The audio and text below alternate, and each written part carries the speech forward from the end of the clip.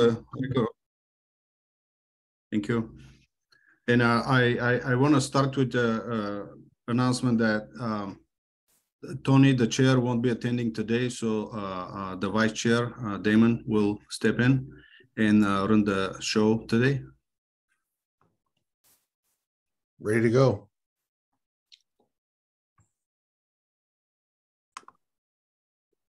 Krista, can you start with the roll call? Okay, now that the clock's done. Damon Doyle, Vice Chair and Chair Pro Tem. Uh, present? Chell Anderson, Here. Jay Arnold, Here. Todd Beyreuther,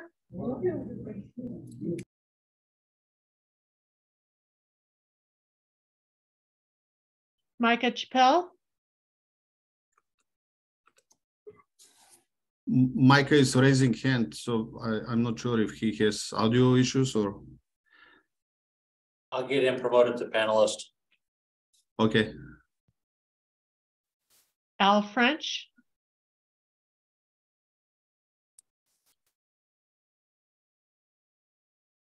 Bob Hamlin, Here.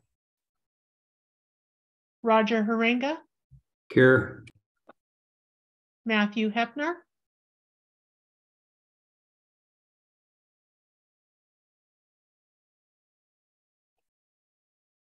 Craig Holt, Here. Peter Reiki, Here. Katie Sheehan, Here. Caroline Traub, Here. Corey Wilker, Here. Todd Beyreuther,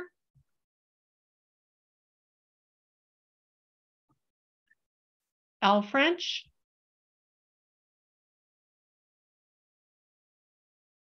I see Todd here. I don't know. Uh, what's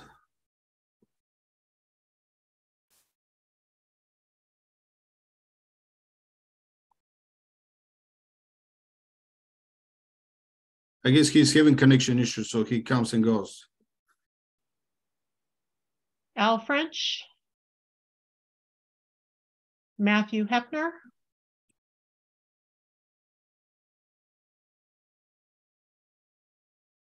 Okay, ex officio members, uh, Representative Larry Hoff,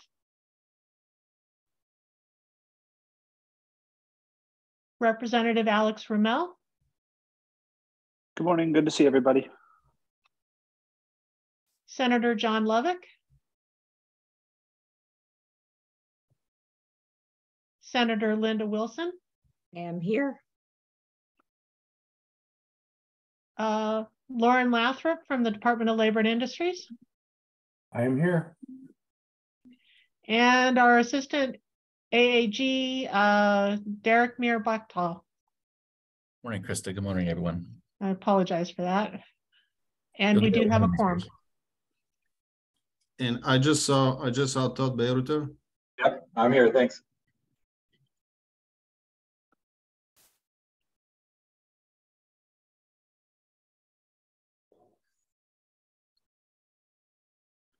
Damon, the floor is yours. Okay. Uh, item two on the agenda is to review and review and approve the agenda. Uh, do I have a motion?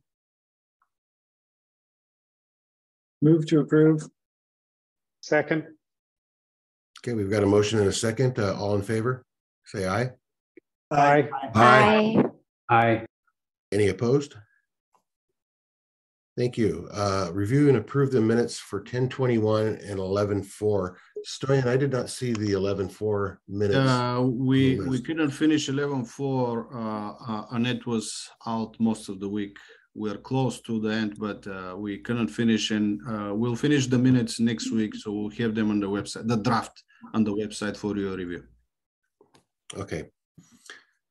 Uh, is there a motion to approve the minutes from, uh, October twenty-first? So moved. I'll second. Okay, any discussion? All in favor? Aye. Aye. Aye. Aye. Any opposed? Motion carries. Uh, any public comment for items not on the agenda?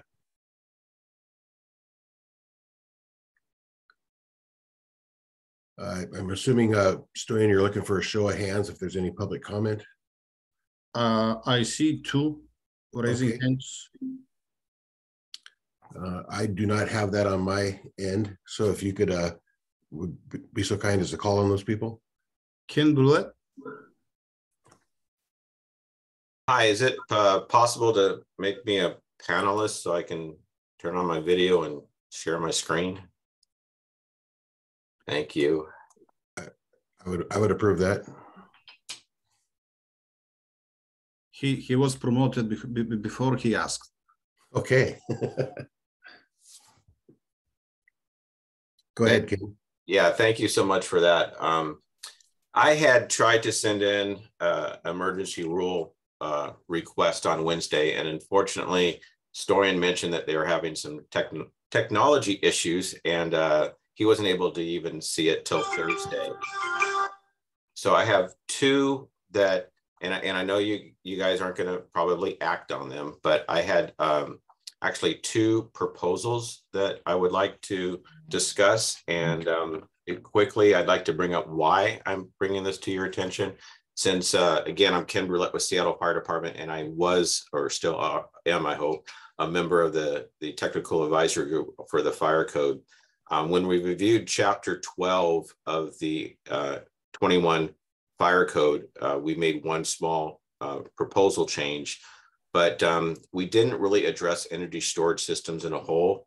And on Wednesday, I attended a webinar that was put on by the Washington State Department of Commerce. And it was also attended by um, other fire departments throughout the region and the Pacific Northwest National Laboratory. Uh, Matthew Pace was there as a presenter.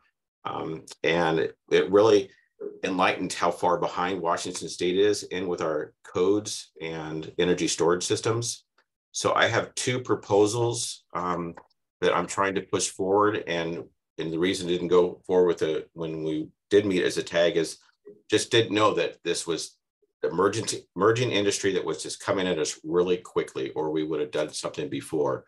Um, and I'm going to start with the 2018 code. Uh, says another participant is sharing, so I'm just wondering if Yeah, I think we need to take the agenda down perhaps. Yeah, it's, it's available now. Okay, thank you.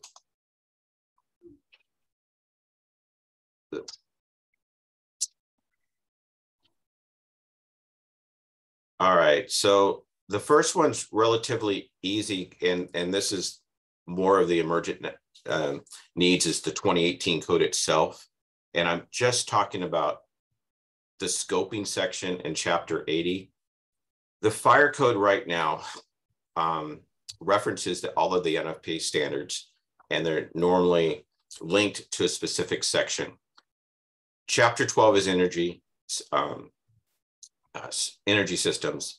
And in the scoping section, I would like to add in here that the AHJ can use NFPA 855, and then chapter 80 reference NFPA 855 right now the AHJ is just handcuffed with these energy storage systems getting installed throughout the state, and we don't have the associated laws to govern them to make sure that they're installed correctly. The only document that's available quickly for us is NFPA 855 in the 2023 edition. So this is a quick change. Chapter one of the fire code allows anything that's referenced in our fire code to be considered part of the code. And that's what this does. It just says, okay, 855 is part of the code and we can use it just like any other reference standard. So that's what the 2018 proposal is for an emergency rule to get this in effect so we can uh, actually use 855. The um, other ask would be that since the 2021 code is actually going to be in effect uh, July 1, we need to amend the 21 code. The 21 code brought in a whole bunch of energy um, storage uh, language, which is fantastic, but it still didn't keep up. So the 2024 IFC has worked with the language that's in the 855 and, and updated it. So my next proposal is a little bit longer because um, I'm not going to go through the whole thing, but it's to update the 21 code with the 24 language. And that's all it is, is, is we would take everything that's in the 21 code, which is in black and anything that's in purple here would be the updates. Just, and all I'm doing is just bringing in the 24 language, which we're going to see in the state of Washington in a few years, but unfortunately, we need that language now. So there's all of these updates in the 1207 section that need to be done. Now, I understand that um, both of these are some big ask right now for emergency rules, but I would be hoping that you guys at least look at the 2018 immediately. And if you did want to establish a work group, a quick work group, similar to the R4 work group that I was hoping would have already gotten started from your last meeting, to work on the 21 emergency rule quickly to make sure that in July 1, we have all of the 24 language moved into the 21 code so we can address the energy storage systems that are being installed um, within the state right now. So thank you very much. I hope I didn't take up too much time and and uh, I will relinquish the screen if I can. Mr. Chair, can I can I clarify the process? Yes, please do. So it, it, it's not really an emergency rule because I mean the court is not effective yet. So uh, you, you, know if if the if the council decides it would be an off-cycle rule, but uh, it, the proposal was submitted even Wednesday was too late for this council meeting and uh, it wasn't a direction but a recommendation by the council a few months ago because we were getting too many requests for emergency rules at the last moment if we can have at least a month for the council staff and the council members to evaluate the project if it needs some research and stuff. So I will make this available uh, at the council meeting in uh, uh, for the council meeting in January, and then and then you know based on the discussion and what the council decides, uh, we we have enough time if we need to do uh, you know a work group and uh, additional work. That that's from me. Okay. Uh, Jill, you have your hand up? Yeah, thank you, uh, Mr. Chair. Um, and I have a question. What is the scale of this energy storage solutions that is to be regulated? Is it is it the the Tesla battery pack in your garage, or is it a building that has um, a room that's very large and has um, batteries in it, for example, or is, is all, yes. all yeah, it, it's it's both of those. The so the 21 fire code already addresses those, um, both of those scenarios. So mm-hmm. um, the the 21 code basically for the houses for residences says, hey, if you install one that is um, already built to this UL standard, then all of these additional rules um, apply, you know, don't apply. You just want to make sure that it's a UL listed uh, device that gets installed. So it's a little lenient on that. The 24 code brings in um, some more provisions that weren't in the 21 code. And uh, there would be some correlation with the residential code that would have to happen too. So um, yeah, a work would, would be helpful. So it's about larger scale storage than yeah, the, the yeah we have it's both. So you you have the larger scale storage and then the smaller um, energy storage systems for residences. Two different sections in in in in uh, chapter 12 that deal with it right now. Okay. And then we've talked a lot about the, the timing of the, the code coming out and the fact that, that people or code officials get a version of the code. And then when something comes out a month later, they might not get it or they might not be aware of it. Um, so I guess if we did an emergency or if a we did a rule change for the 2021 code early next year, would it be part of the July 2023 uh, so we set a schedule uh, in our last code meeting. We, we actually voted on it, I think, um, that we would have, to the extent possible, staff prepare provisions by a certain date such that code officials and, and builders and everybody would would have enough notice of, of all the things. And I guess if we do an emergency rule next year, are we or, or a, rule change next year, are we going to be able to stay on that timeline? And that's a question more for Stoyan and and others. Well, it's important how much extra work you're giving me because so far we have requests for two or three uh, uh, off-cycle rules and uh, this in addition. So you add one more and you required me to develop insert pages by uh, April and, and, and bunch of other stuff. So uh, I, I don't wanna, I don't, I don't have a, a, an opinion now on this proposal because I didn't have enough time to review it, but uh, you know, we can do so much. If we get too, too many projects at the same time, we, we have to prioritize. The, the, the first proposal though was relatively quick. It wasn't, a it was just adding in NFPA eight fifty-five as a reference document for the twenty eighteen right now. And, and that's something that I, I did it separately just because I understood that a work group would take some time. Yes, I would love for it to be part of the twenty-one code a- a- as an amendment at the state in, in July. But the real need right now is for the twenty eighteen, and that's what the emergency rules are all about. If we find that there's a discrepancy and we don't have an available code or document to enforce, that's why I brought that forward to just adopt the NFPA eight fifty-five as a reference document. Okay. Uh, Micah? Thank you. Um, I- I do see the need for this, especially the 2018 portion of it. And I, I don't see an issue with an off-cycle rule beginning early next year. Um, I I think that's what the process is here for. I, I guess I am understanding things differently. My understanding is this code is adopted once it is filed and the IFC has already been filed. If you go into the WAC rules, the effective date of that language that it will be implemented is July 1st, 2023. However, it is already adopted. So, with that, the only process to modify that adopted language currently would be an off cycle rule. And if that's done before the implementation date, that's fine. But that would be my understanding. And maybe Stoyan or Derek can speak to that. But it seems like we could get this done, even if it is considered an off cycle rule prior to the implementation date of July 2020, of July 1st, 2023. However, I don't think it would change anything in the um, needed information for code officials as a way to adopt things. There are open questions on these systems. We do have a section in the uh, the Washington IBC or the Washington Building Code and the Washington Residential Code on energy storage systems. And so having the, the comprehensive package on what to enforce, how to enforce it, and what documents to go to, I think is very important here.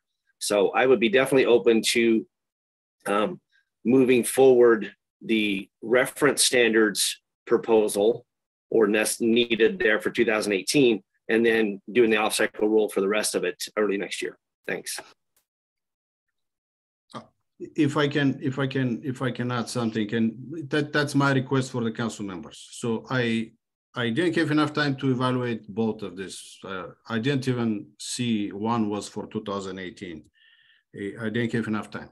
So based on my brief evaluation, I would say this doesn't meet the criteria for emergency. And I, I and I'm sure Micah will say, oh, you're wrong. And, and Ken, the same thing. I may be wrong. I just didn't have enough time to review it. And I think the same applies to the council members. And uh, I, I, I've made this speech before several times. We have like 15 emergency proposals for two years. That's too many. Uh, and and, um, and my request for the council members is please take take your time and evaluate what we have. This is all I'm asking. Uh, the other thing is if I ask you, let's make rulemaking every 18 months or every 12 months, one triennial and every year. How how you will evaluate that? You will tell me you're crazy. Probably I am. But now we have rules every month.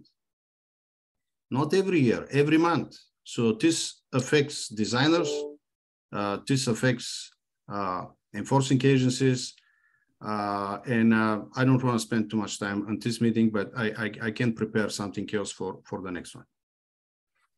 Okay, uh, what, when is our next meeting, Stan? Do you, do you have a January. date? January. What day in January? Uh, I think it was 20 or 21st. I can't remember. Okay, so we're, we're talking two months away. Yes. Okay. Um, it would seem, in, in my opinion, it seems like the first request is rather simple. It's just adding a reference standard. Um, the second one, of course, uh, would take a little bit more evaluation. Um, Ken, could you clarify? You said the language you showed that was in purple, that was uh, um, the 24 proposal from the I, I, IECC or the Exactly. It's it's all 20, International 2020. It's all 2024 International Fire Code language. It's already been approved. It's just moving it into the 2021 Washington State Fire Code. So there's nothing that you, you know, nothing specific. It's just bringing it in early. It's something that we've I've already done in chapter three of the 2021 uh, fire code, but unfortunately did not get it in. Um, did not know it was, it was needed as much as what I have just found out recently that these systems are just popping up everywhere and we're lacking a reference to 855 and then the 2024 language. So um, I'm, it's a stopgap. I'm trying to do everything I can to, to catch up. It's what industry is designing these systems to 855, but we don't, the AHJs throughout the state don't have the ability to use that. Now, I got to remember that I'm talking about the state. City of Seattle, I have already done an administrative rule for the city of Seattle that helps us bring forward um, the 2024 language. But I'm not here on behalf of helping just City of Seattle. I'm here on behalf of helping the rest of the state that has to deal with these systems that are being installed. They don't have the same abilities as the City of Seattle to make these administrative rules uh, to bring forward earlier code language. That's why that 2018 reference to 855 is so important. Thank you.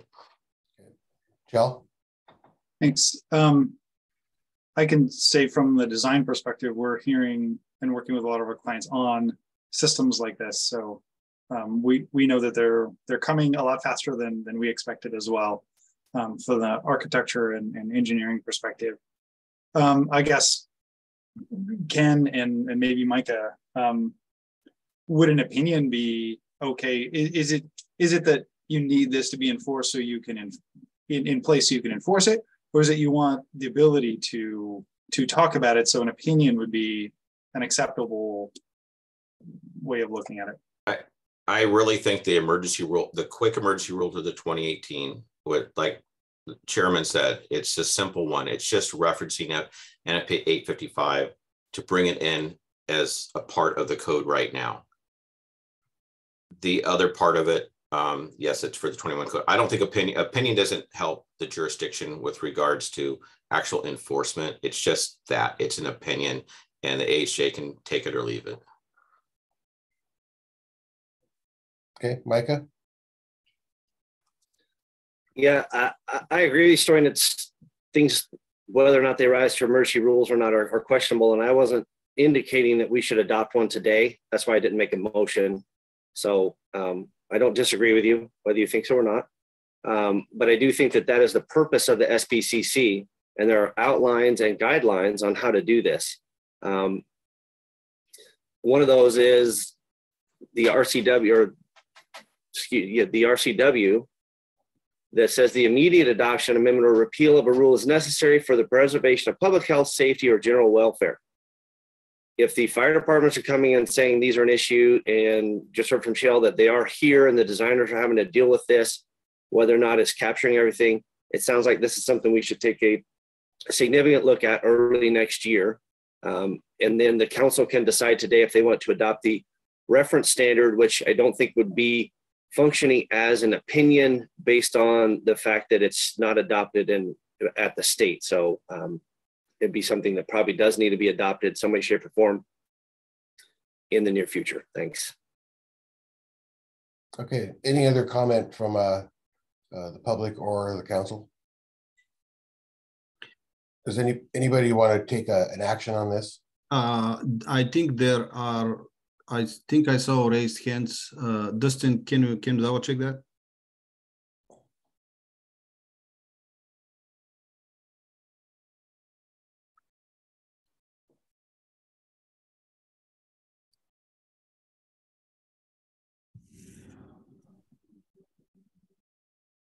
I see uh, two raised hands attendees, and I'm not sure if they want to talk about this proposal or about something else? If, if anybody, uh, if any of the raised hands want to talk about this proposal, uh, keep your hand up. It looks like uh, Kathleen. Sorry, is not on this. Okay, Sorry. if you could pause for a second, we'll come back to you. Uh, Matthew? Yes, hello. Can you everybody hear me okay? Yes. Thank you. Uh, my name is Matthew Pace. I'm a technical advisor with Pacific Northwest National Laboratories. I'm speaking in support of the both of the rule changes that Ken has presented.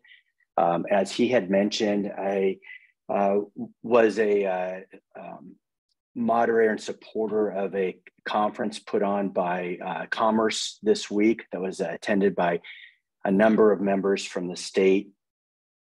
And one of the challenges that we see as a national lab as we try and support the uh, deployment of energy storage on a wide scale basis is the inconsistent adoption of energy storage codes across the US.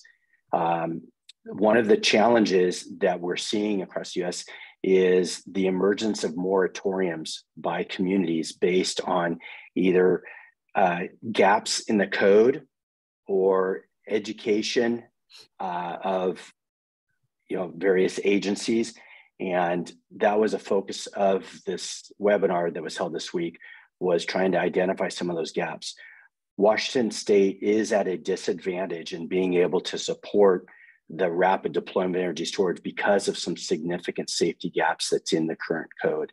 Um, the 2024 ifc language uh, very closely harmonizes with NFPA 855 and addresses some significant shortfalls. So from a safety perspective and to provide a pathway for newer technologies, uh, we would like to you know, support the commission in uh, spending the time necessary to bring forth this language uh, in, in the July period. Thank you. Thank you. Uh, Greg Rogers?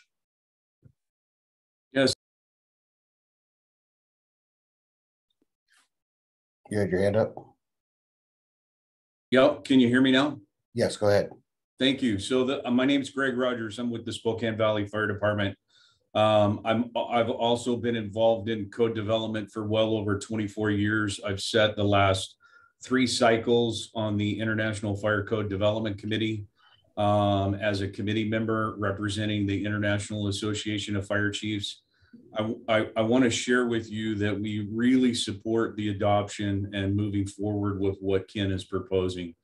Um, and, and I'll propose a couple of different things to you.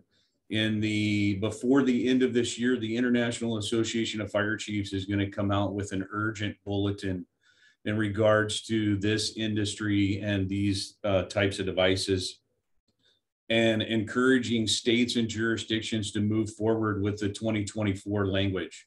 I can't tell you in the 24 years of my code development process of the International Fire Code, and I can tell you I was around when the Uniform Fire Code became the International Fire Code, and the International Fire Code was the first one in 20 and in, in 2000. Um, and I can tell you, based upon this, we we are seeing an industry and we are seeing a movement that has been unprecedented in anything that we've had. Um, you can't even compare it to the hydrogen fueling that we had to deal with in the code cycle uh, many years ago, probably 10 to 15 years ago. Um, and I think that's the reason why it's important to understand what Ken's saying in regards to emergency rulemaking. I understand that you guys have a lot of issues that are being addressed, but I can tell you there I, I've never seen anything or an industry moving as fast as this. I can tell you part of the safety features, and I, I appreciate Mr. Anderson bringing up the Tesla uh, battery walls. Um, that is addressed in here, but it, it, to be realistic about it, those are minor features compared to what we are seeing in the industry of 20 megawatt shipping containers that are being installed in jurisdictions that uh, have no requirements in the code or no enforceable requirements that are being adopted. And I know from a fact after attending a couple of meetings over the last couple of days there's large scale industries that are bringing these types of devices in that do not meet uh, UL approval or UL standards. And the unfortunate piece is, is for jurisdictions like myself and other fire jurisdictions around the state, they don't have the capability of using that NFPA standard or document to apply that. So I, I want to encourage you to continue to move this forward. And it would be my hope that you could potentially add it to the 2021 uh, code, hopefully before the July date. Because I, for my perspective, it's kind of like Ken said, along with my jurisdiction, it's it's not us that are very knowledgeable about this that need this adopted. It's for those folks that don't really understand what's coming to their jurisdiction. Okay. I thank, you. Greg. Thank you, Greg. Um, I don't see any other hands up. Stoyan, could you uh, be sure to forward the information you received on Wednesday out to the council so that we can uh, consider this at our next meeting? The information, the information is uh, uh, saved on the web page that uh, we we sent you a link for. So uh, regularly you can you can check this web page. Everything that comes, we're saving it there. And uh, uh, for this particular one, I can I can email it to you. Okay. All right. Any other comments on this? Thank you, Ken, for bringing this forward. Is there any other public comment on items that are not on the agenda? Kathleen? Hello, thank you very much. Can you all hear me? Yes. Thank you. Um, I am, my name is Kathleen Petrie, and I'm speaking on behalf of King County. And I would like to speak uh, regarding some of the content in the document entitled Changes from CR 102. Would that be acceptable today? Uh, sure. Great, thank you. Uh, we would like to speak in support of requiring a dedicated branch circuit for EV charging in section R30962, but we are not in support of the exception.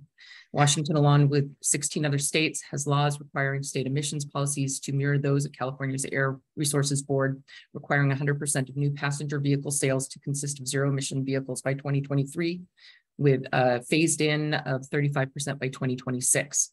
Tightening that timeline even more is uh, 20, the 2022 Move Ahead Washington package uh, that now has a bold new policy aimed at ending sales of new combustion engine vehicles starting in 2030.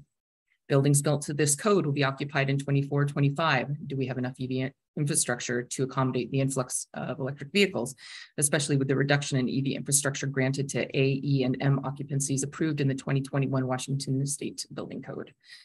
The exception in that is proposed still requires the electrical service to be sized to accommodate the 40 amp circuit. It just doesn't require the installation of the circuit, associated wiring, and the outlet or junction box. It will be less costly to do this now during construction versus as an alteration later, and it is the cost is nominal. Uh, knowing that combustion engines are phasing out quickly, it seems prudent that homes are outfitted with the capability to charge our vehicles this code cycle. So uh, thank you very much for your, uh, the opportunity to speak today, and we request that the exception please be removed. Point of order, Mr. Chair. Go ahead. So this was for agenda item uh, six, I believe. Um, uh, the exception is there because there was some debate at the last council, uh, uh, actually on October 21st meeting. So the exception is there uh, for discussion discussion purposes, but uh, this was for agenda item six, uh, and we shouldn't be accepting public comments for the adoption of the code, except uh, the council members have questions or need additional clarification pertaining to changes to the CR 102. Okay, thank you. Uh, any other public comment on items that are not on the agenda? I don't see any hands on my end. So with that, we'll go ahead and move on to item number five, uh, request for opinion considering the use of R4 occupancy as alternate approval. For uh, item number five, we have two different opinions saved on the website. So the first one uh, the council staff developed based of the comments we heard at the last council meeting.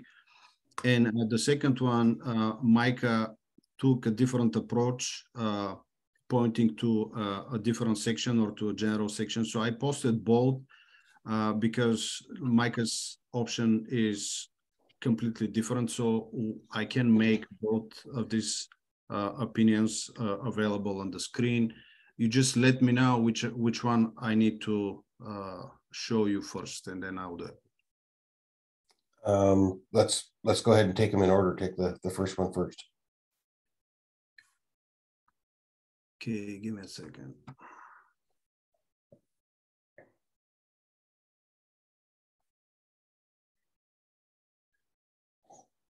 So the question is the same. Uh, and the answer was modified based on, again, it was uh, Chell's idea. Um, I took the, uh, it wasn't, it wasn't a motion, but uh, I, I listened to a discussion uh, and uh, the Department of Health added a sentence so here is the short version of this. And the other one again was submitted by um, Micah. Uh, thank you, Micah. He was in a difficult working conditions, I guess, at the time, but I can I can show you uh, Micah's option as well. I'll try to share them.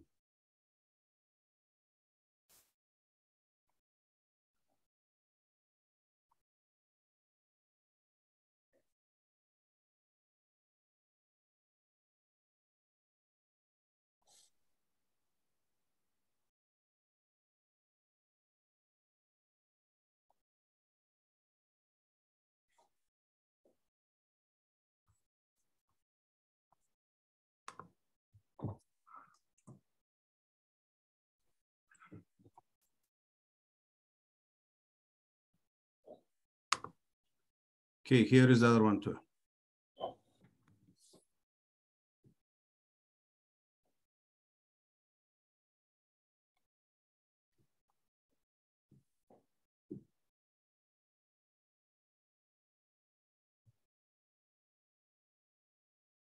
Okay, I'm gonna assume that the uh, two hands that are up, uh, Angelina and Al, are uh, for discussion on this proposal. So with that, uh, Angelina, go ahead if you'd like to, to comment.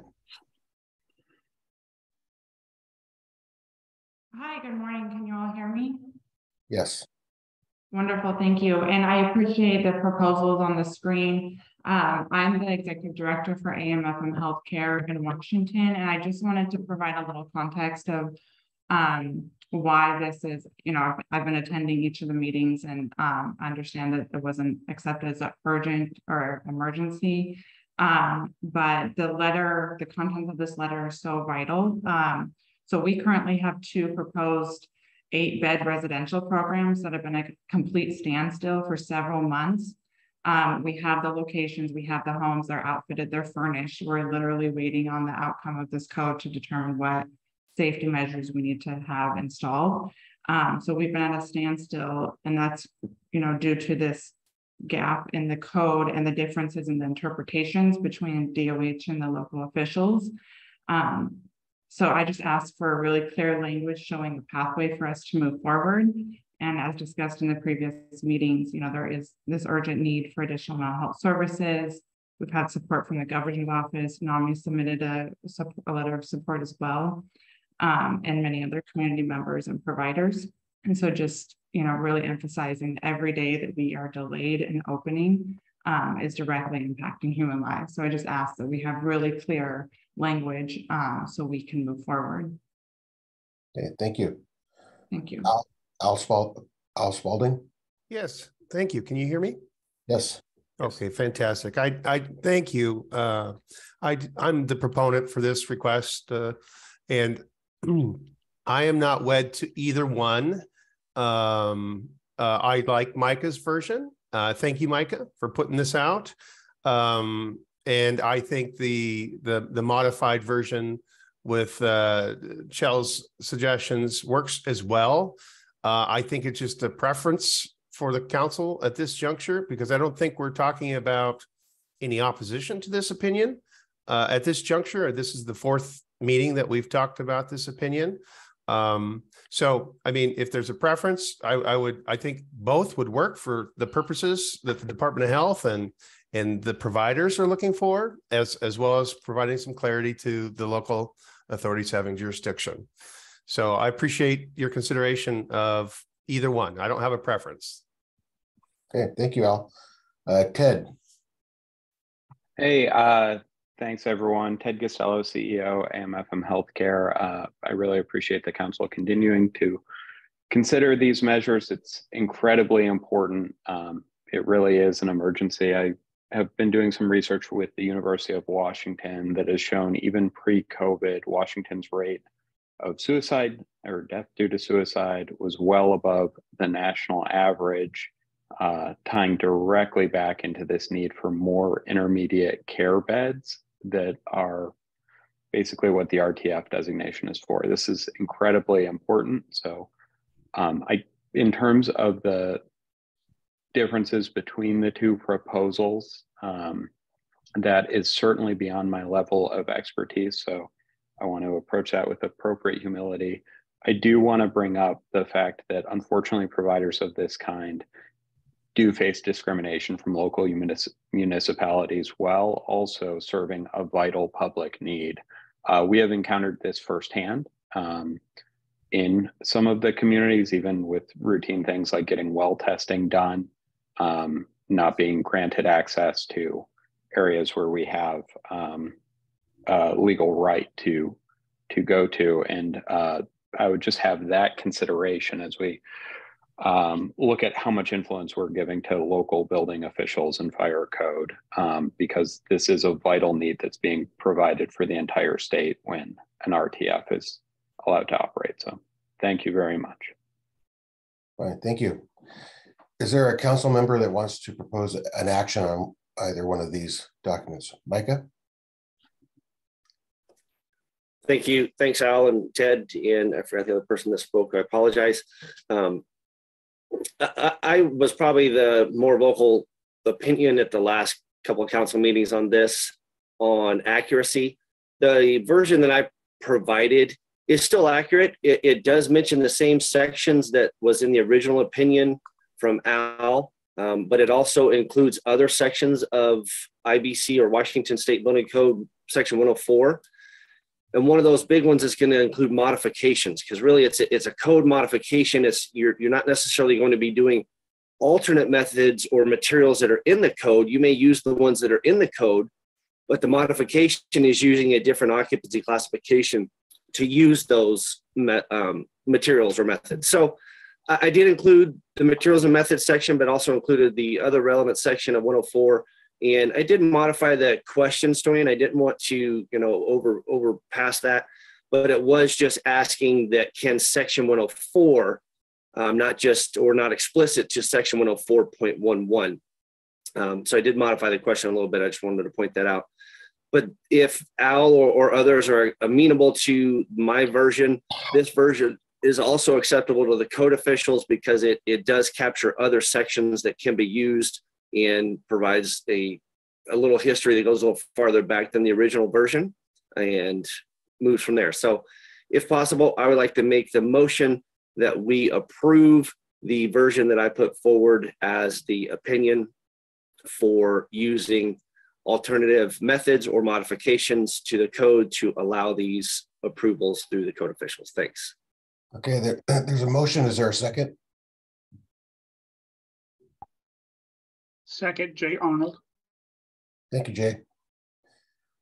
Motion is second. Uh, Roger, Yeah, can, uh, since the motion said refers to the version that Micah proposed, can we be clear on which of the two on the screen we're talking about? That's that version? That one. Okay, I just wanted to make sure I was clear which one we were talking about. Sorry, I was having technical difficulties to show you both, so I guess I didn't clarify that. But this is Micah's version. okay, any, any further comments on, uh, on the motion? Roger? Yeah, Micah, if you can clarify, I just, the, in your opinion, the second paragraph, um, the version that you have says only when the building official or fire code official determines dot, dot, dot, dot, dot. Is that in some way uh, more restrictive or less restrictive than the paragraph in the other version? I'm, I'm, the only was the one that stands out to me, the word only. Um, do you think that the other version, I mean, I'm just curious if it's stronger or not stronger than, than the, the version, the other version that was proposed? Uh, that's pretty much the language of the code. It doesn't say only, but it says that the code official can approve this when all these items are met. Okay. Um, so that's pretty much the only, only when those are met or doesn't do a certain thing. Um, under the modification, it actually states in the code that um, pretty much the approval is such that the modification does not lessen health, accessibility, life, and fire safety or structural requirements.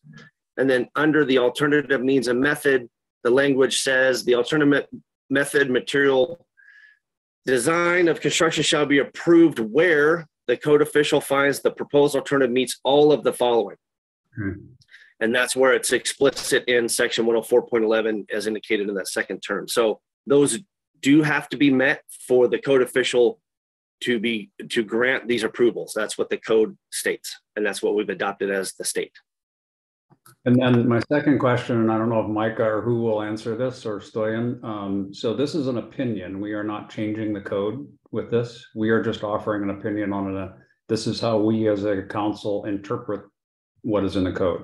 Is that correct? This is a council opinion and, and uh, the caveat here is that the cities and counties, the building departments, they are not required to, uh, to comply with it. Okay. All right, thank you. Uh, Jay? Uh, One of the reasons why I seconded Micah's motion is I found of the two proposals, uh, Micah's proposal to be clear, but if there are, as one of the speakers had mentioned, if there are significant policy differences between the two where um, this, this changes things, I'm, I'm curious to hear from staff, uh, Chell as the proponent of the original language or others on any differences here, because at least from my perspective as a lay person, I couldn't see a, a, big policy difference. Thank you. Uh, Chell? Yeah, functionally, I think they say similar things. I think the the, the difference is that the one that I suggested language for um, kind of is is more on the encouraging uh, side, and the one on you know the Michael Road is the the less encouraging side, but they don't. I don't think have a significant difference. Mike is a code official. Uh, he's better at writing language that code officials can understand, or, or opinions that code officials can understand. So I'm I think his is perfectly fine um, from my perspective. Great. Uh, any further comments? Uh, hearing none, let's, let's take a roll call.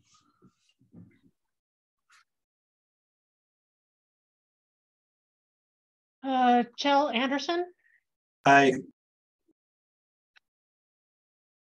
Jay Arnold, Aye. Todd Beyreuther, Aye. Micah Chappell, Thanks for the compliment, Chell, and yes. Bob Hamlin, Aye. Roger Haringa, Aye. Matthew Hefner, Aye. Craig Holt, Aye. Peter Reiki, Aye. Katie Sheehan, Aye. Caroline Traub, Aye. Corey Wilker. Yes. Motion carries twelve to zero. Thank you, Krista. I'm sorry that I went the roll call method on that rather than just asking for a voice vote. Obviously, it was a rather quick and easy. Okay, uh, with that, we'll move on to item six, uh, deliberations on rulemaking decisions. I will note that uh, we won't be taking public comments on this item. However, the council members may ask questions of proponents or commenters. So uh, with that, uh, we'll start with adoption of the 2021 IBC structural. And I see Micah, Micah's hand. Yeah, before we got into that, I just wanted to ask, was there a need for the council to consider the work group uh, still moving forward for off-cycle rulemaking for the Department of Health to make modifications, or would this, will this opinion suffice for now? I, I, sorry, I meant to kind of ask that before we move forward. That's fine.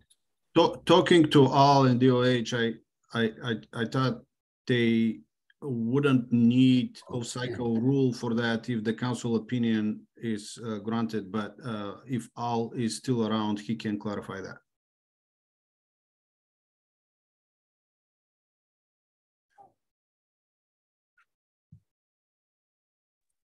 Al is no longer logged in. Okay, well, I can I can uh, coordinate with uh, DOH and and uh, I'll I'll have the information for the next meeting.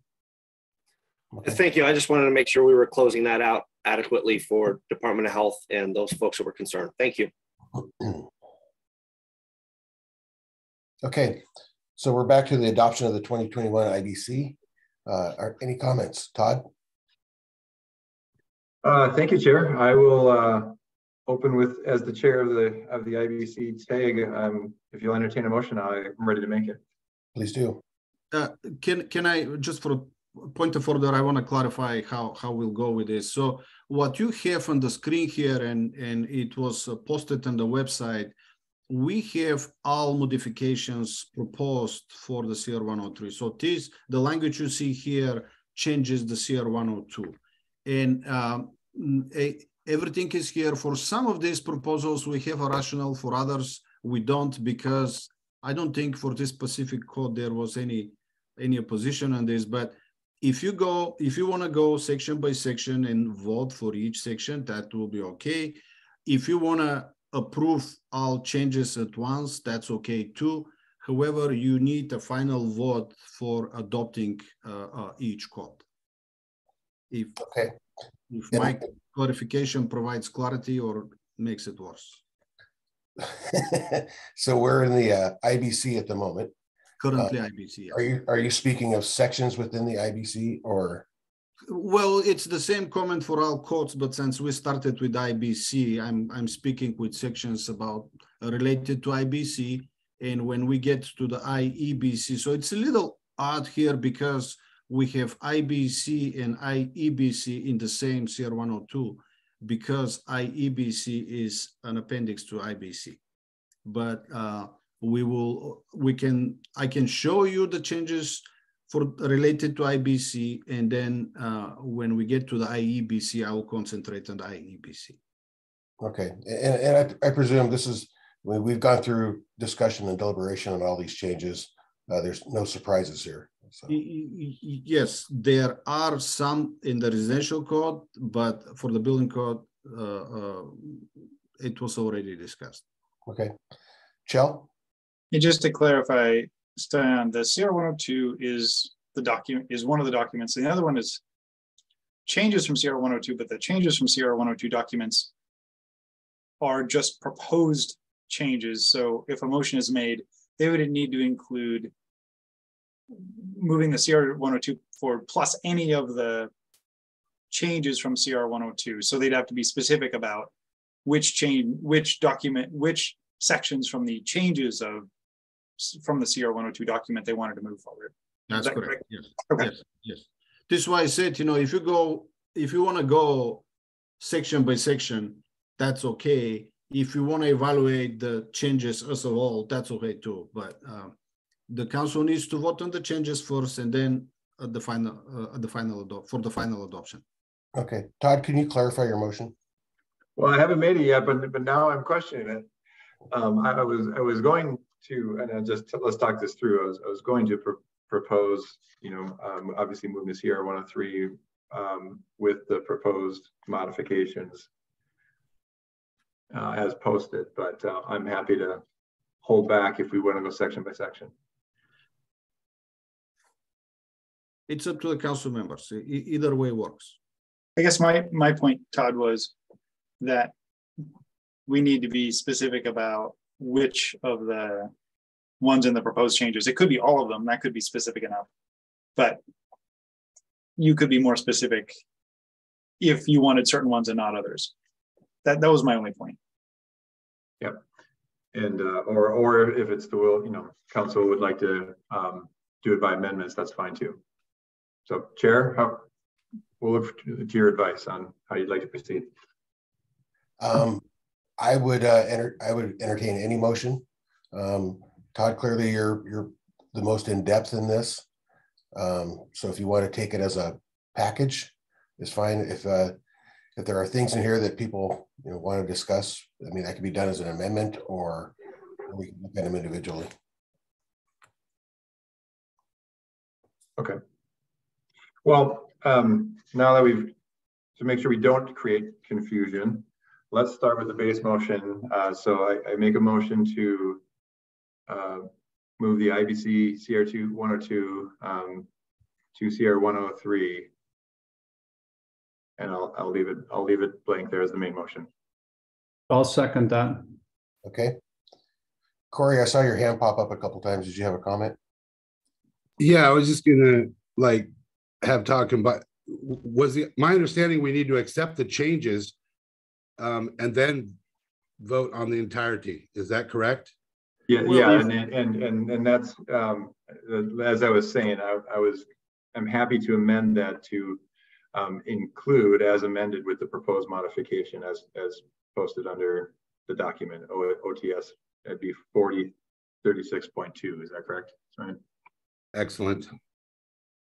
I, I guess I didn't do a good job, but if you if you have nothing against the proposals as they are proposed, then you can do one vote for both. If you are voting for adoption, including all modifications to a CR one or two, that that's clear enough to me.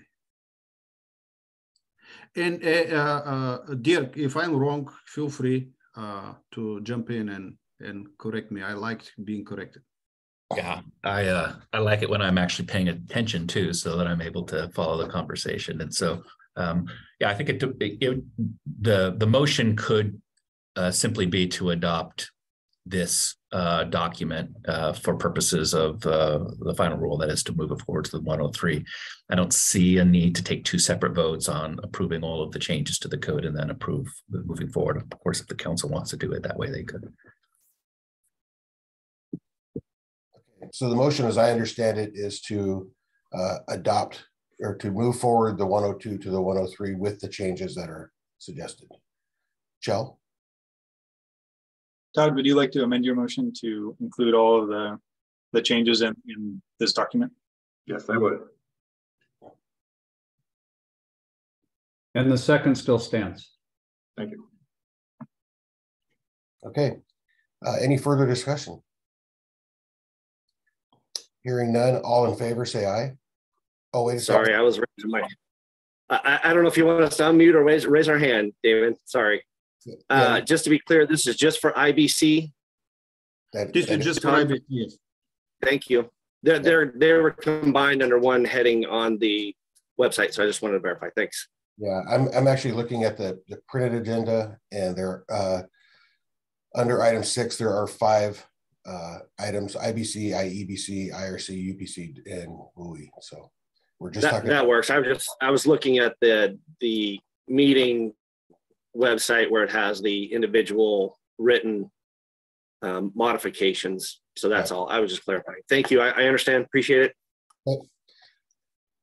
Um, let's just go with a voice vote on this. Uh, all in favor, say aye. Aye. Aye. Aye. Any opposed? Great, Todd, your motion carries. Uh, the, the second bullet point under six is the adoption of the 2021 IEBC. Okay, thank you, Chair. May I make a motion? Yes, you may. So I move to move the IEBC CR 102 to CR 103 um, as amended with proposed modifications, um, including 306.7.1 option two and striking 306.7.1 options one and three. Okay, there's a motion made. Is there a second?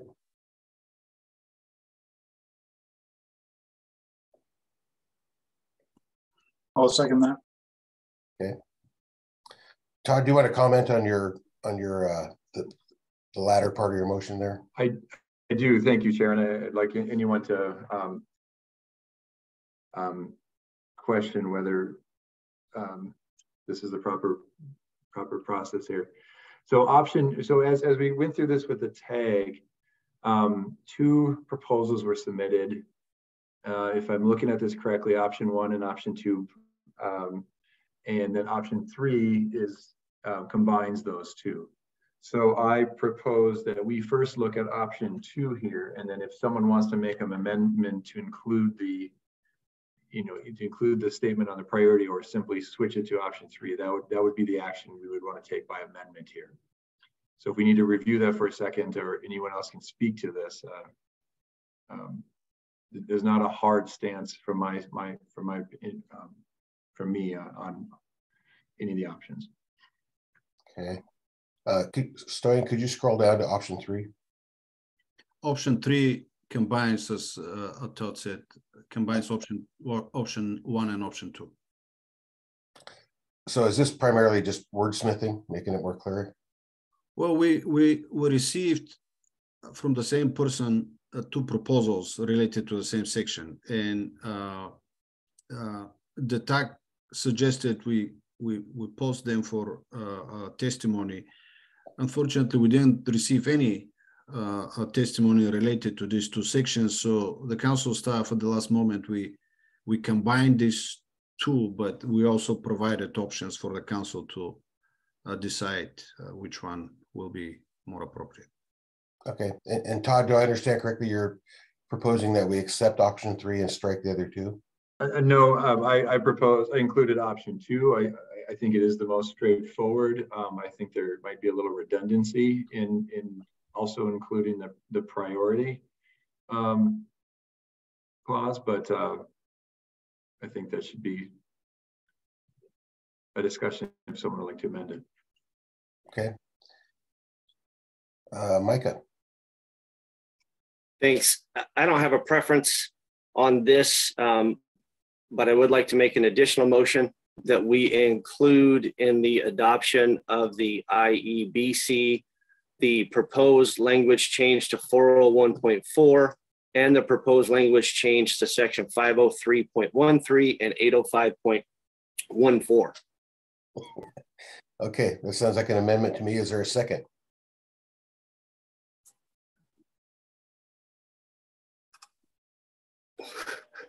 Uh, here, no, no second, I would say that the amendment fails. Um, do you, um, you, you want to? Chair? Yes, go ahead. I'll second it for the purposes of, of giving Micah a chance to uh, help us understand understand the, the content. Okay. Micah, can you uh, elaborate on those? Uh, sure. The the first one for um, under section 401.4 is the clarification for and cleanup of reuse of existing foundations. So I would assume we would want that language in there. Um, that's shown on the screen there, I guess is, and I'm not sure where this document is. I can't find the one that's on the screen. So I'm probably looking at different documents. And maybe I'm just missing that it's already included in the motion. Uh, Todd, do you want to comment on that? Um, that, that's my understanding, Micah. Um, because we okay. have both IBC and IEBC in, in this, uh, I believe we're looking at OTS for 4036.2, right? We are pulling the IEBC sections, including these sections in the in the main motion. Okay. Thank you. Then leave, then I'll not worry about that motion. Thanks. So the amendments withdrawn. Uh, Carolyn? Yep. Oh, I think we just covered it, just clarifying that all of the changes and the proposed changes were part of Todd's motions. The the reason he pulled out the option one, two, and three was just to be clear about which option was in the main motion. But I think that okay. Thanks. This is why option options one, two, and three are highlighted because we we need uh, uh, the council to clarify which one we're adopting. Okay. Katie? Uh, yeah, I'm in the same boat as Micah. Is, do we have this document or is this? Yes, you do have the, this document. It's, it's posted on the website under agenda item six, deliberation on rulemaking decisions. And it's the first bullet point IBC structural slash IEBC document. And the second one in the row is changes from CR one oh two. This is the So- one where, okay, it's a Yes, different, it's showing the- up as a different color. I'm color. Okay, thank you. No, it, the links appear in a, in a, in a different color. We don't have much of control on that. And, and uh, again, the, uh, the odd thing here is like, we have one CR one oh two for both, but we're asking for a, a separate vote for each call. Okay. Any further discussion? Uh, Todd, would you mind restating your motion for clarity? Yes, I'll do my best.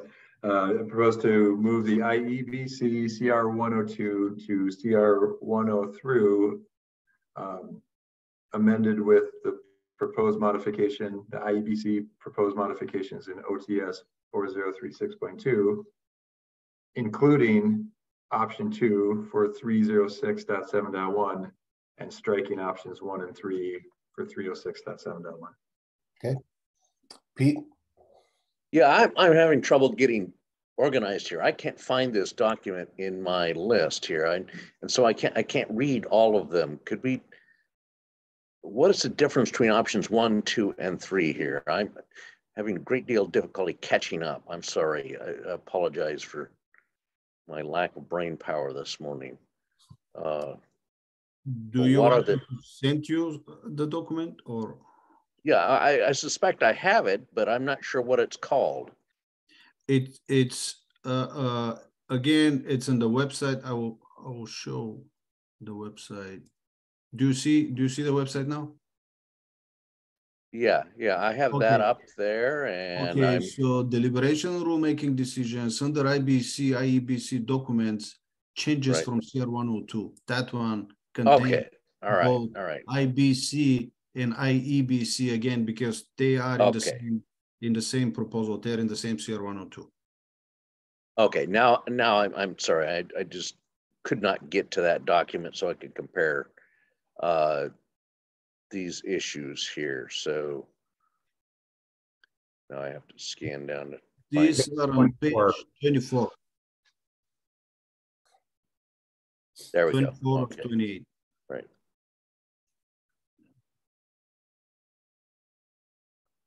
Okay, I'm gonna give a moment for Yeah. people to read that over. Stoyan, could you scroll up to option one, please?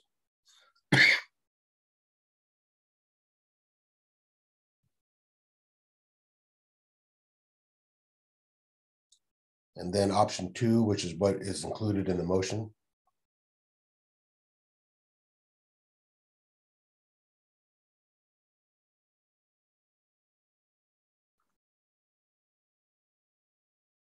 And then finally, if you would, option three, which is also being,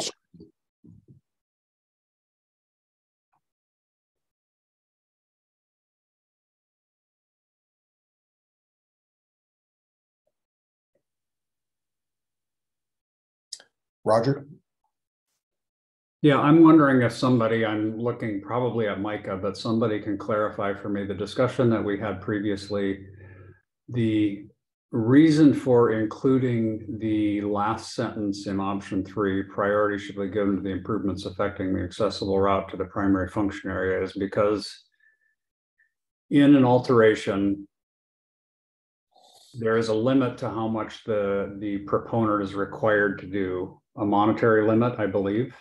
And so what we are trying to do is we are trying to say that we are trying to suggest that we have a priority of where they are spending their dollars. Is that in generally, general true?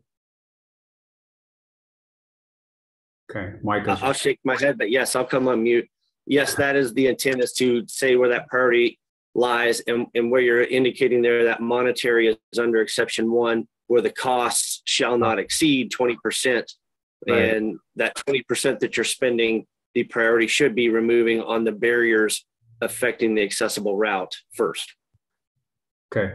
I'm, I, and I would be curious actually to get Pete's thoughts on that, but I would actually be, be in favor of option three rather than option two to, to give a preference or a, uh, suggest a priority for um, accessibility first. Um, so that's my, that's my feeling. Well, my, my concern here is, uh, if the primary function area is accessible, uh, that could mean accessible from the outside uh, versus getting from the primary function area to uh, restroom facilities and drinking fountains, et cetera, and back. And those are oftentimes two different modes. So I want to make sure that the accessibility to toilet facilities and drinking fountains is included and making sure that the accessibility from the primary to those facilities is, I believe, where the focus of these options should should lie, not necessarily in getting to the primary function. Uh, so, you know, getting in the front door versus getting to the restroom. Uh, and uh, I remember this discussion now, and I, it, uh, Yeah. And I, Pete. I that think op, op, option two covered most of it because it, it didn't do that. Uh, and option one, uh,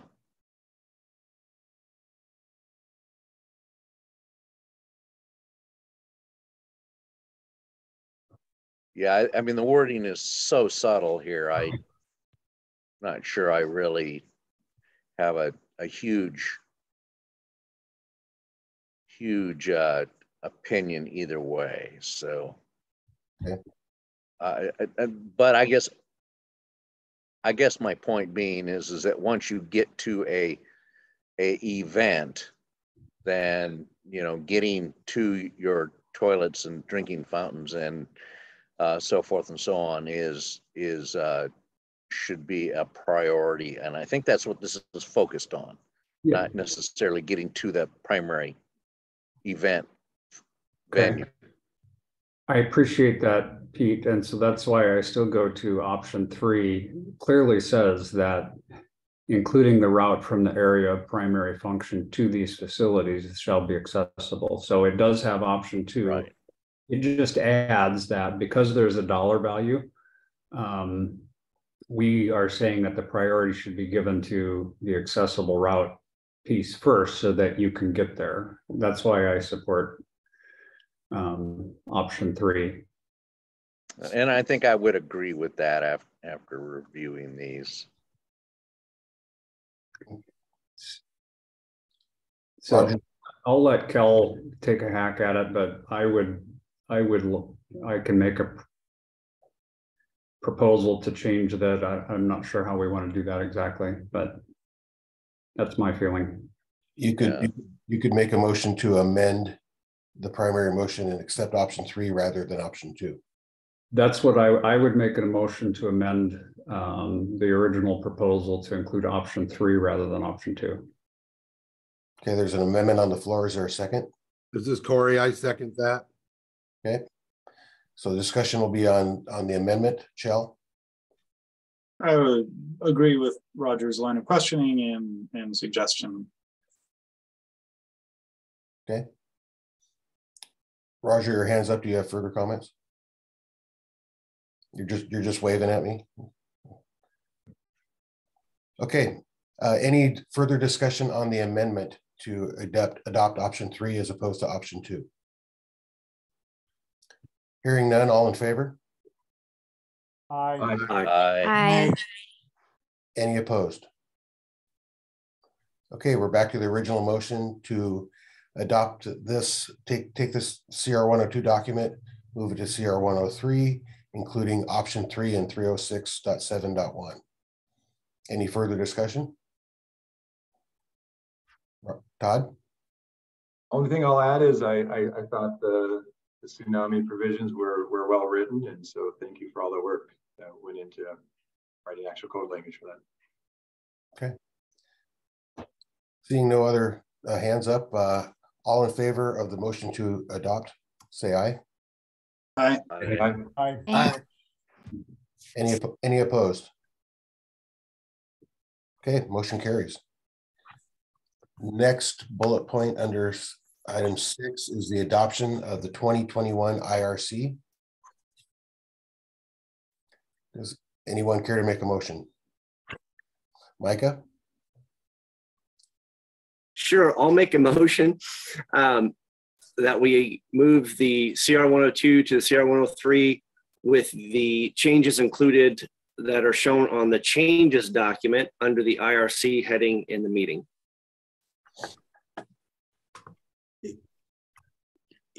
If I can clarify what we have for the IRC here, uh, I, I'm sure it will be uh, uh, uh, uh, mentioned before you vote, so I want to clarify first. So here is the original proposal that is in the CR 102 for the EV charging equipment. And there was a discussion at the work session on October 21st, whether or not it's a good idea to include an exception. Uh, based on the discussion, uh, the, the council staff put together an exception if, if the council members uh, wanted to take into account because we didn't want to craft the exception at the council meeting. So uh, it's uh, the staff work. And then below you will see modifications to this exception that Chell sent us this morning, which um, I included in the package. So for this particular section, it's important if the council wants to take into account this or any exception, or we just can eliminate the exception and, and the council will vote on the language as it was proposed in the CR one oh two.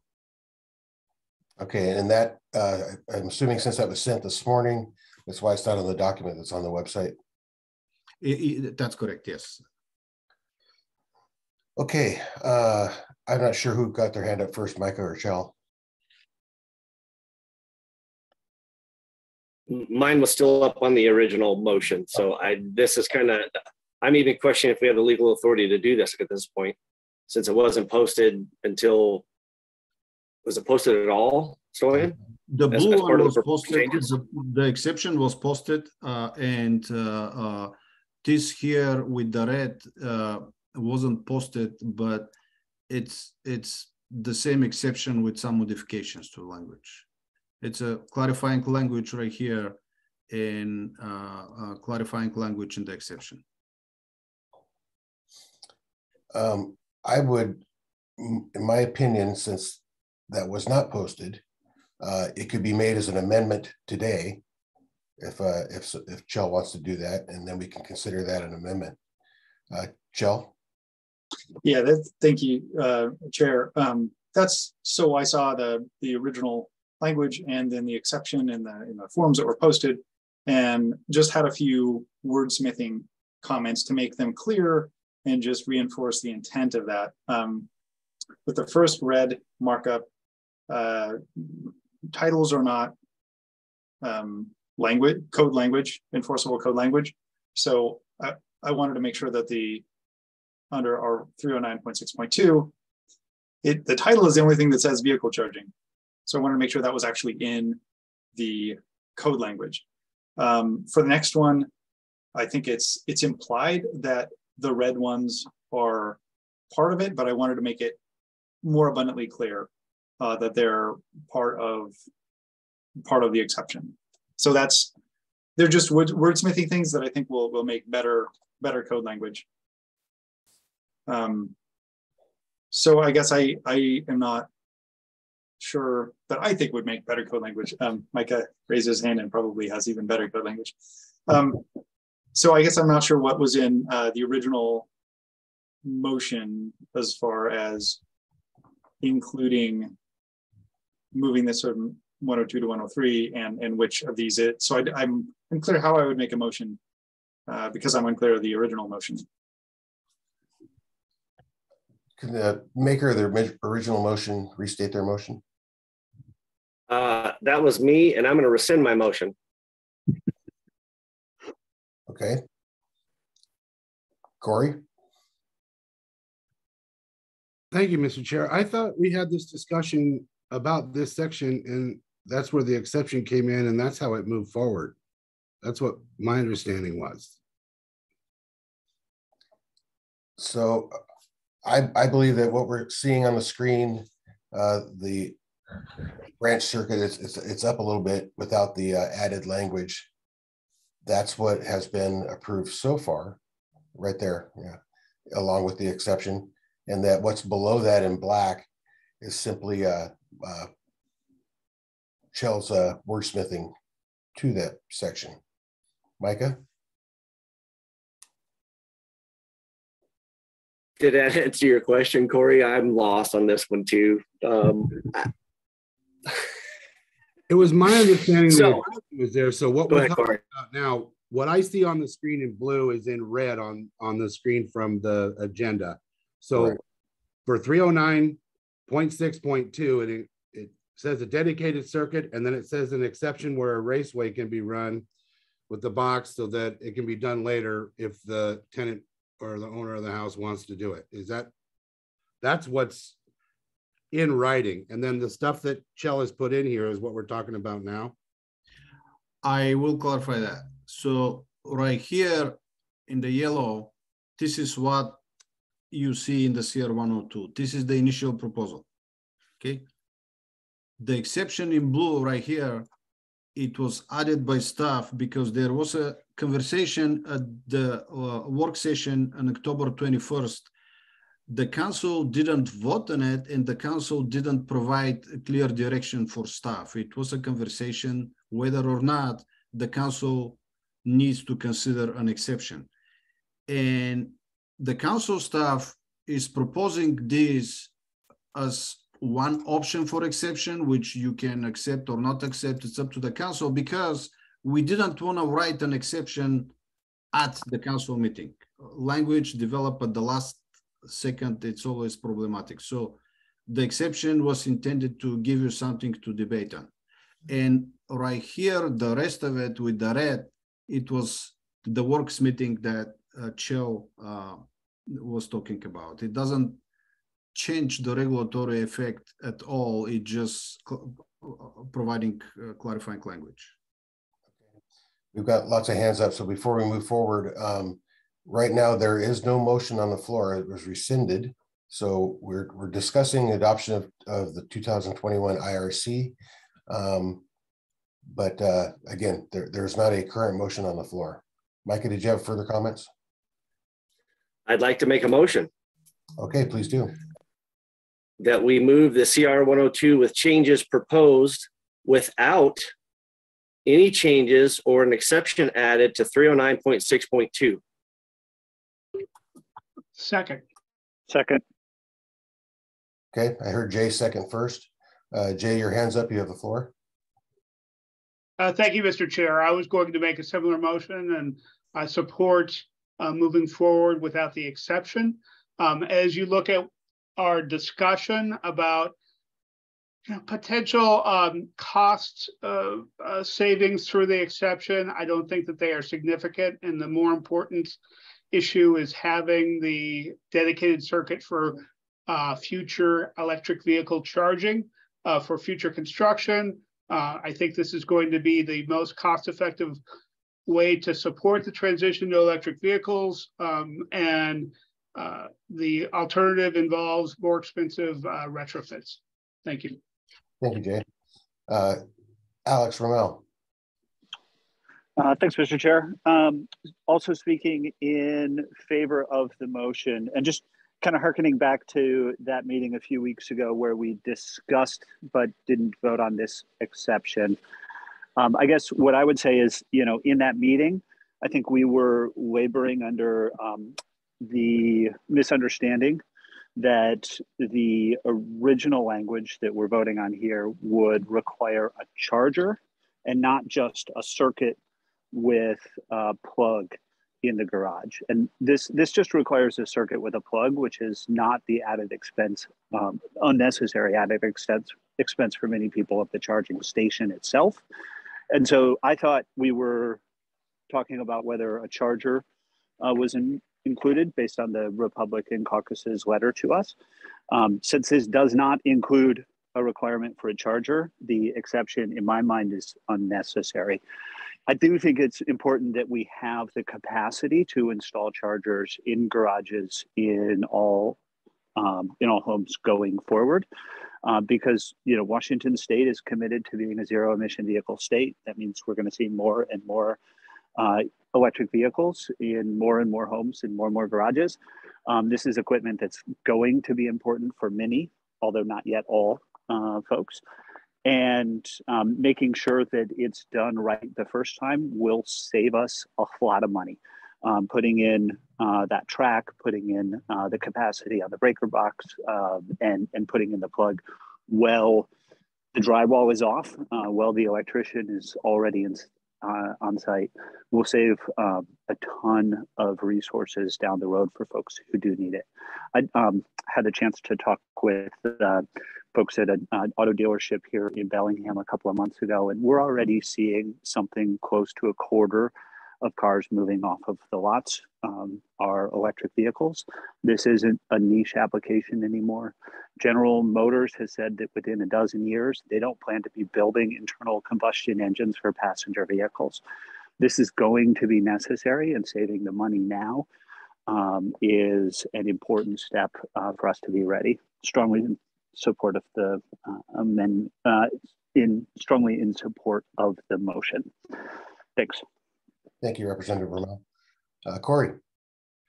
Thank you, Mr. Chair. Uh, there was a lot of discussion and the industry that was mostly opposed is the residential industry because of the cost factor. Um, I think it's less than 10% of the vehicles are electric. We have time and there's every likelihood that, that hydrogen fuel cell vehicles are going to become even more prevalent than electric vehicles in the next 10 years. So the raceway exception was a pretty good compromise that we talked about because it allows for it to be easily put in. Uh, pulling that branch circuit and, and making it a dedicated circuit on a panel will likely raise a house that needs a 100 amp panel to a 200 amp panel. And these cost savings were not addressed in the proposal. They weren't addressed in the change, and they're significant. So the significant raise to the cost is why I'm opposed to not adding that exception in there. I thought that was a reasonable compromise because it makes it very easy to do when you need to do it. Thank you. Thank you, Corey. Micah?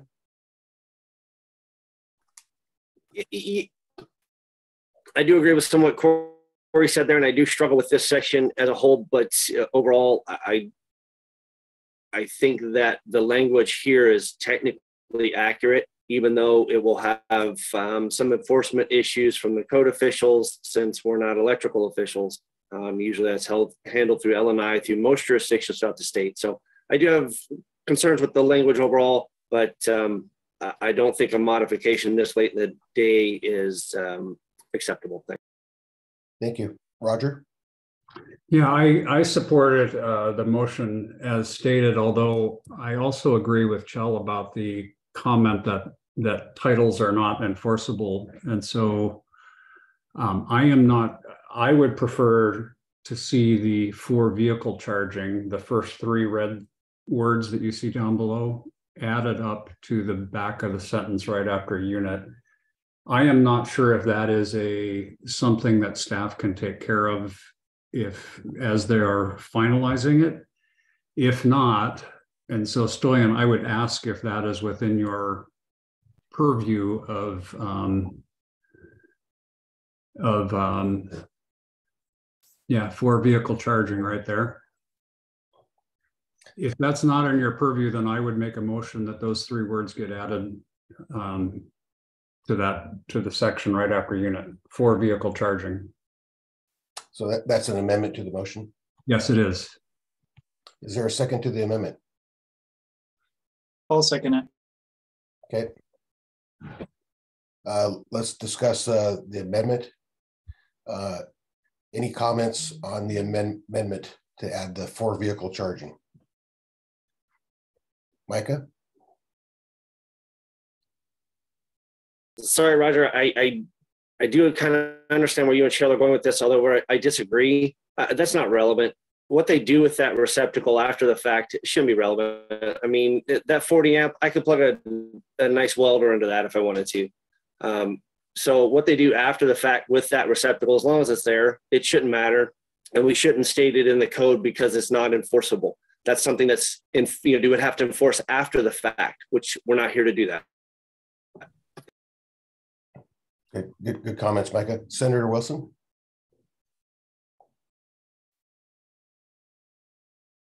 Thank you. Um, yeah, what I'm not hearing here is, and and I don't know that I can amend the motion to amend the motion to amend the motion, but um, we're back here in the same capacity as we were with the um, natural gas. There's no authority by the legislature to do this.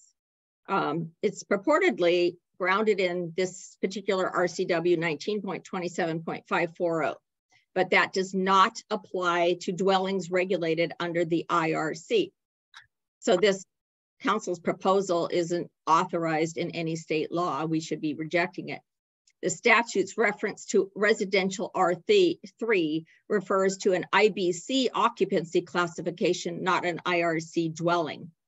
So, um, not so realizing this, there is no statutory authority to be doing, to be requiring that electric vehicle charging circuits be put into these homes. There is, I'm, I'm reading every day about the cost of affordable housing and how right now it's, it's houses are not selling.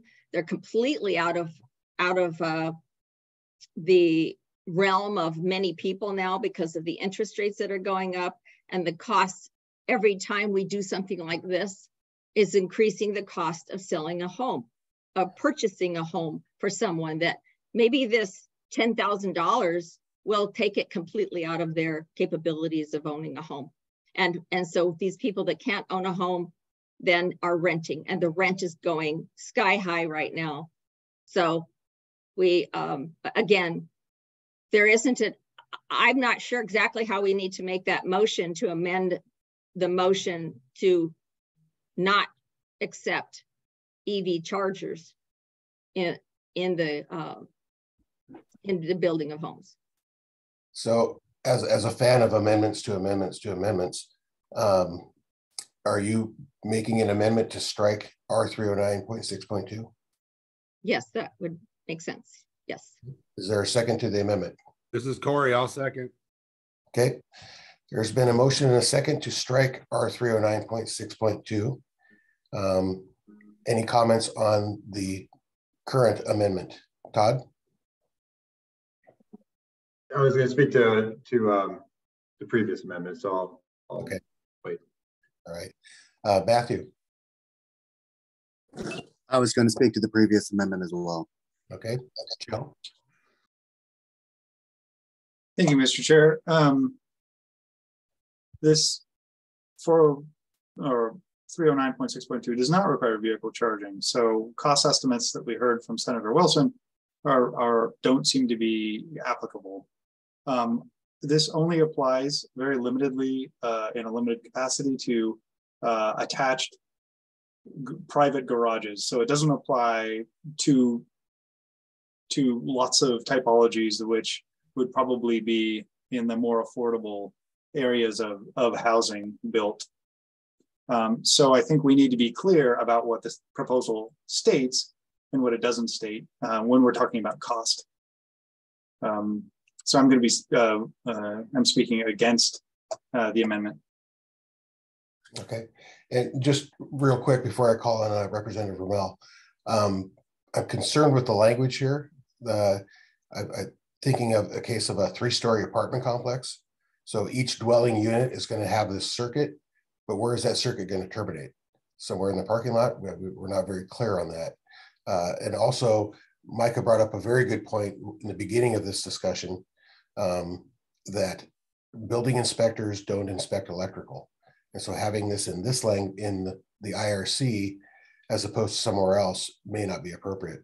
Uh, Senator Ramel, or excuse me, Representative Ramel. Uh, thanks, Mr. Chair.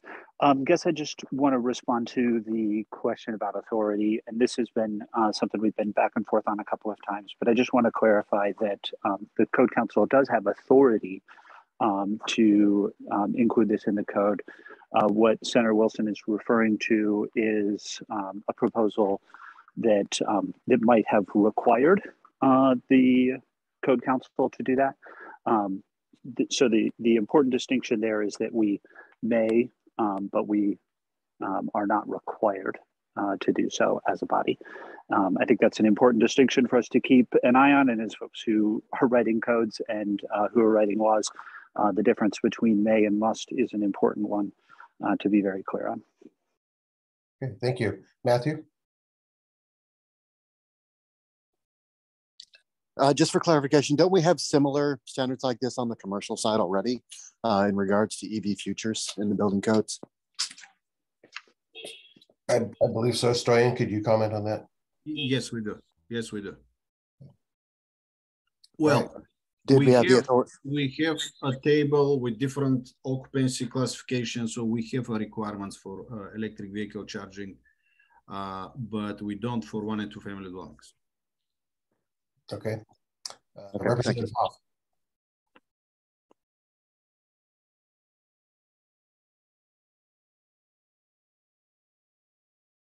I'm sorry for the delay. Um, The question of authority lies deeply within the assumption of legislative intent. Um, Legislative intent generally is something that this council should be following. And in that regard, there is no legislative directive to um, install these EV charging stations. I recognize that um, we've discussed in the past the issue of um, kind of following the 70% reduction or whatever the case might be in uh, in the uh, uh, legislation that has previously passed. But in that regard, there is no suggestion, no literal suggestion that all new construction needs to have this particular uh, addition accomplished. So intent has a lot to do with, with authority and legislative intent is at some point within this council ignored. So just to uh, share that with the group. Thank you. Senator Wilson. Well, to follow up on what Representative Hoff just said and what I said earlier, it is RCW 19.27.540 that I'm referring to. And that only refers to IBC occupancy classifications and does not cover IRC dwellings. The statute thus provides no authority for the council's new rule to amend the IRC to require charging equipment in homes because the legislature only required electric vehicle charging capability for certain IBC buildings designated in the law according to the occupant occupancy classification. So if you go to the RCW I'm referring to, it says except as specifically required in, in uh, provide, provided in B of this subsection. The rule adopted under this section must require electric vehicle charging capability at all new buildings that provide on-site parking. So, and then it talks about the 10%. And I remember months and months ago talking about this specific requirement of 10% of parking spaces. So it's, it's, does not refer to, it is the IBC and not IRC dwellings that we're referring to. So just clarifying. Thank you. Thank you very much. Uh, Corey. Thank you, Mr. Chair. I was going to ask the help of Micah and- and Chell. When we did the um, commercial energy code and we discussed the chargers, I was just attending the meeting so I could get used to the process. But as I recall, we put the exception for raceways in on the commercial side as well, did we not?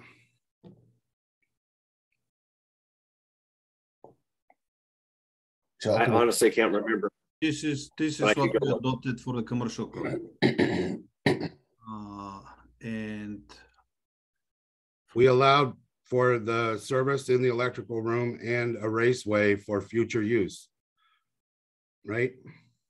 I'm reviewing it right now. I think it was both required, Corey, but I, I can't remember. I'd have to read it as well. Well, again, taking my cue from the senators that are telling us we're out of bounds to have this in the residential, the IRC. Um, Here, I'm here it going with them. Uh, Corey, what you, I guess this is what you're asking about.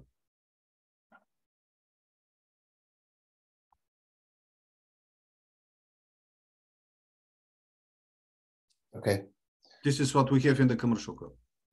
so that, that is the previous amendment to either strike or include the raceway. Uh, at this point in time, we're looking at either of striking that whole section three oh nine point six point two.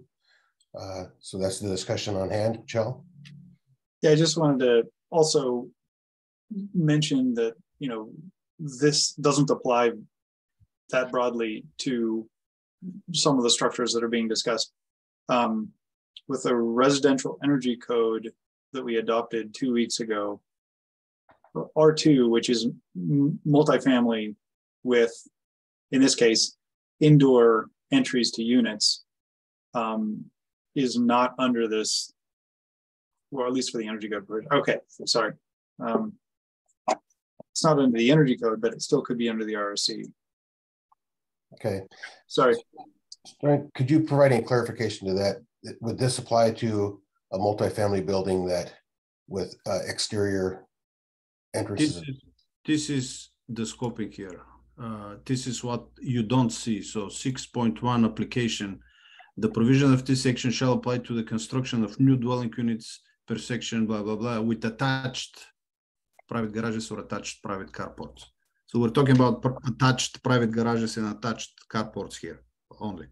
Okay, okay, so for example, uh, a, a accessory dwelling unit would not be required to put this circuit in if there was no garage or carport.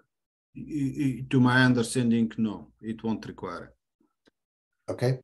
Uh, and to kind of to to my question about that, I ass- I'm assuming that that private garages refers to private garage associated with a single family and not a private garage that is a shared yet not public garage. That's my assumption. And I think that because the, the word attached is in there, that, that probably would be correct. Uh, This- Bob, This was discussed at the technical advisory group and, and committee meetings, uh, and the council meeting when the CR one oh two was uh, approved. okay. Bob? So uh, Chair.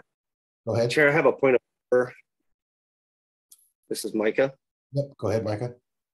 Um, I think we have to go back to Chell's motion first, if I remember correctly, or I'm reviewing correctly Robert's rules. A, an amendment to an amendment that would nullify the previous amendment is not allowed until the previous amendment is voted on. And the senator's amendment would nullify the previous amendment of adding language to a section that the current amended amendment wants to eliminate.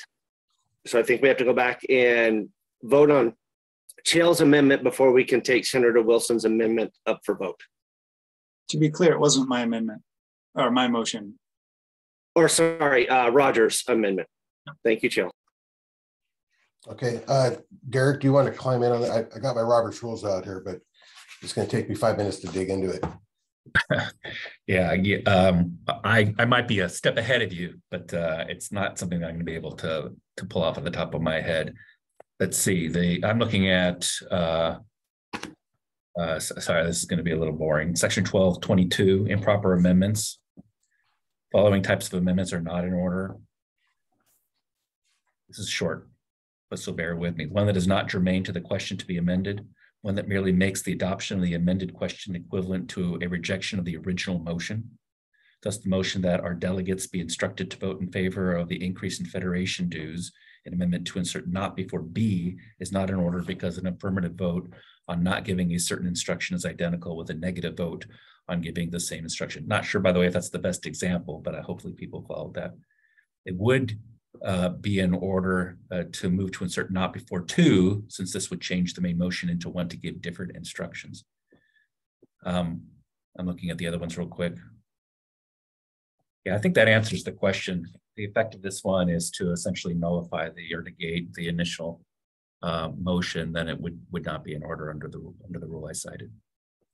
Okay, so we have an original motion. We have an amendment to that motion to uh, include or not include the raceway. And then we have a, a, a second amendment to strike the section 30961 completely. Um, if it is out of order, then I would say we could go back to the first amendment, vote on that, and then come back to Senator Wilson's amendment. Yeah, I agree with that, Damon. Okay. Uh, Representative Ramel. Uh, thanks, Mr. Chair. I guess I wanted to to make sure and clear up uh, the question of authority, but I do feel like the conversation is bouncing around a little bit. I'm happy to come back and uh, if, if we want to finish the discussion of which amendment we're on and the process there, and then uh, return to the question of authority, call me when when it's appropriate. Thank you. I appreciate that. Um, I, I'm, going to go ahead and rule that uh, uh, Senator Wilson's amendment was out of order we'll go back to the amendment on whether or not to in include the raceway. Uh, so that is the discussion at the moment. Uh, uh, Bob Hamlin. Hi, yeah, I just um, wanted to mention that um, feels like we're chasing our tail here on all the amendments. And um, I I thought the exception for a raceway was uh, to be comparable to where we are in the commercial code, knowing that um, we want to be able to have capacity not necessarily require any kind of usage uh, at this point in time for the homeowner, but to allow for uh, the capacity as somebody moves into a house to add in a charging station. Okay. Uh, further discussion on the First Amendment to add the raceway. Uh, Corey.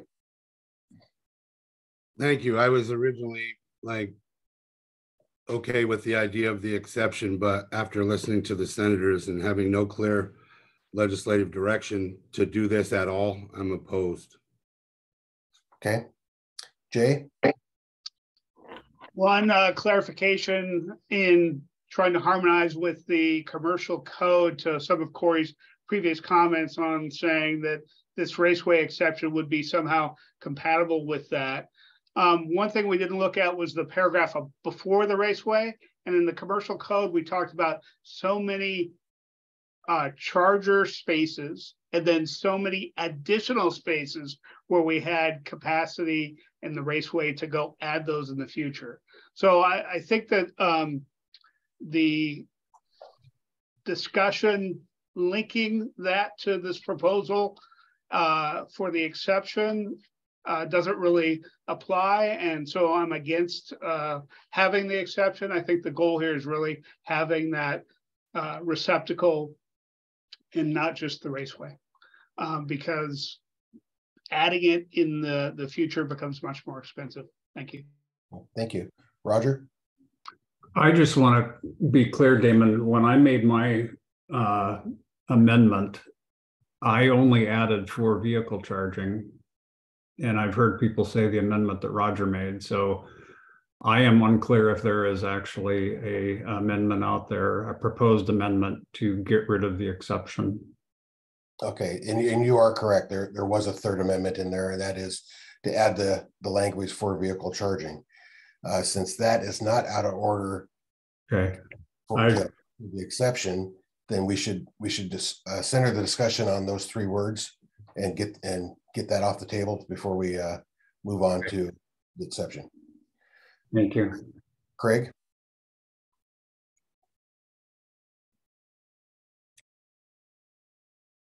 Craig Holt?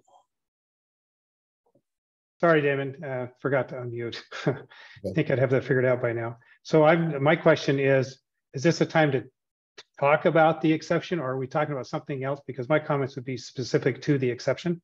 Okay, uh, no, at this point, we're gonna, we're, we're discussing whether we need to add the, the last three words in red for vehicle charging. Okay, I will uh, re, I will defer until the proper time. Thank you. Pete? Yeah, I, I have a, a little bit of an issue here. Uh, I don't necessarily think we should be defining this as for vehicle charging, but we should make sure that that, that implies that it can only be used for vehicle char- charging. And as somebody pointed out, you might as well just hook up a welder to that, which I'm quite likely to do. Uh, so I would prefer some language which implied that it be accessible for vehicle charging, that it, you know, it be located in the right space, but without the words for vehicle charging or some similar words, you could put it at the back of the house and still meet the code. Uh, so I, but to define it in terms of for vehicle charging only, I think is is inappropriate here. Uh, so I'd like to. I don't like this wording either way, with or without that phrase. Okay, thank you, Pete. Matthew. I would just love uh, to clarify exactly what the installation process would look like with this proposal.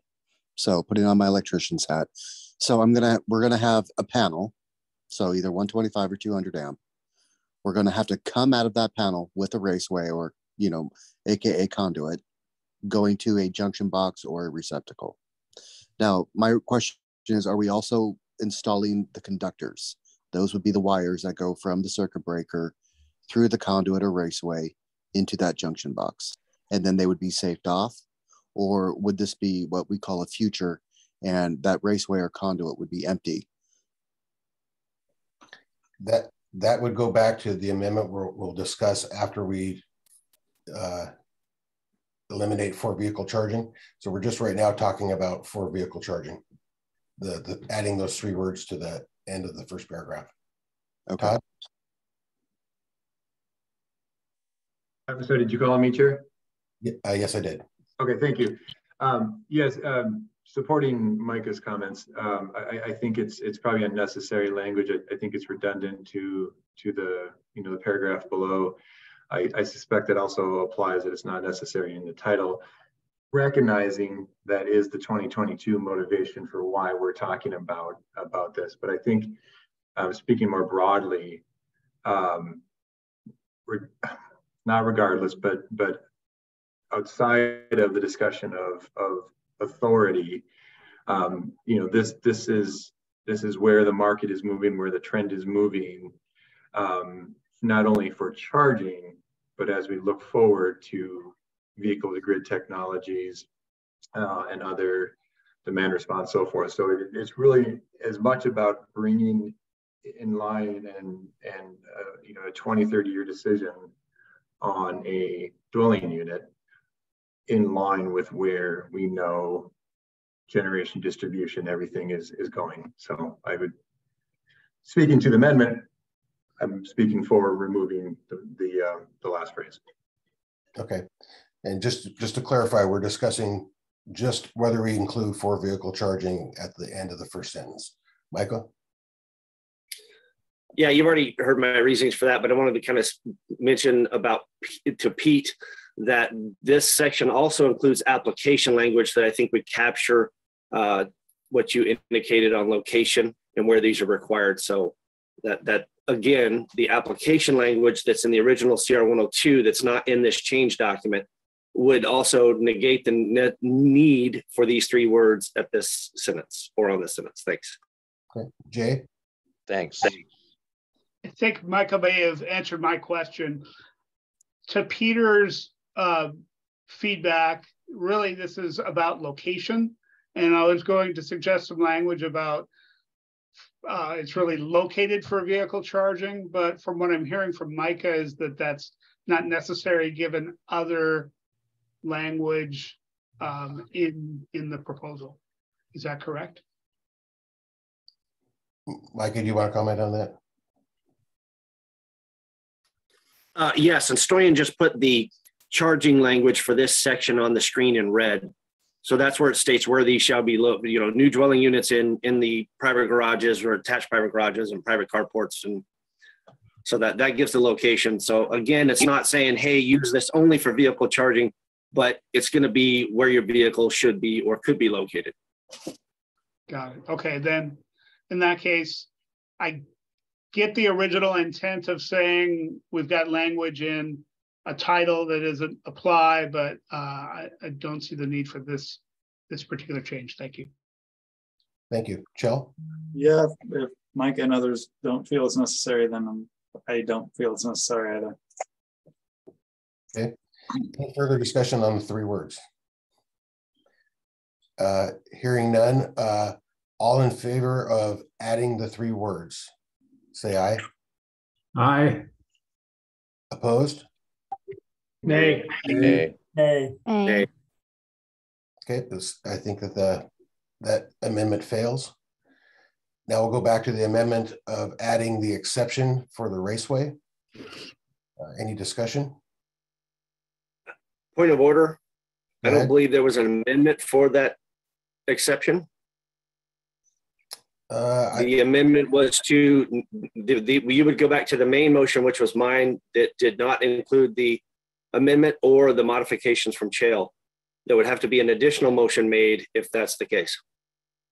Okay, so your, so your amend, your amendment was to not include the additional language, is that correct? Okay. Correct. That was my original motion that you'd have to speak to unless someone else has a additional motion, which it looks like Corey's got his hand up. Okay. Corey, go ahead. Would a motion be out of order to add the exception language? Uh, I do not believe it would. Then I would make a motion to add the exception language and look for a second. I second. This is Craig. Okay, so that is to add the exception language that's in blue on our screen. Um, Stoyan, Stoyan, could you, could you increase the font size on that by chance? It- Of just the exception? Oh, there we go. Okay.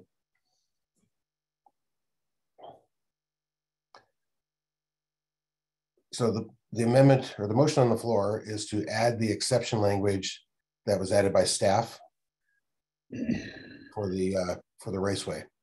Um, discussion on that, Joe. Corey, would you be amenable to including the slightly modified, clarified language that, that I had sent earlier um, to your motion? Are you, uh, you want to scroll down a little bit there, Stoyan?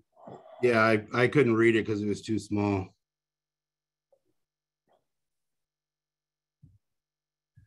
So since we already voted down the for vehicle charging in the first paragraph, I think that that might be out of order. Um, Oh, this is, this is, uh, I'm asking him if he, for the exception language, uh, if he would be amenable to including, if this motion passes, that, that we use the, the language in red within the exception. uh, Corey, I guess that was a, Yeah, so I'm, I'm just reading it now because I couldn't read it before. okay.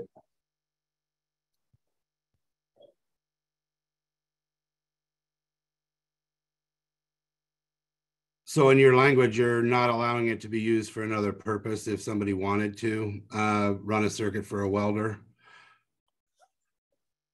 Yeah, the idea is that it is um, that it is, you know, dedicated like the in the in the in the base code language in 309.6.2, it says dedicated.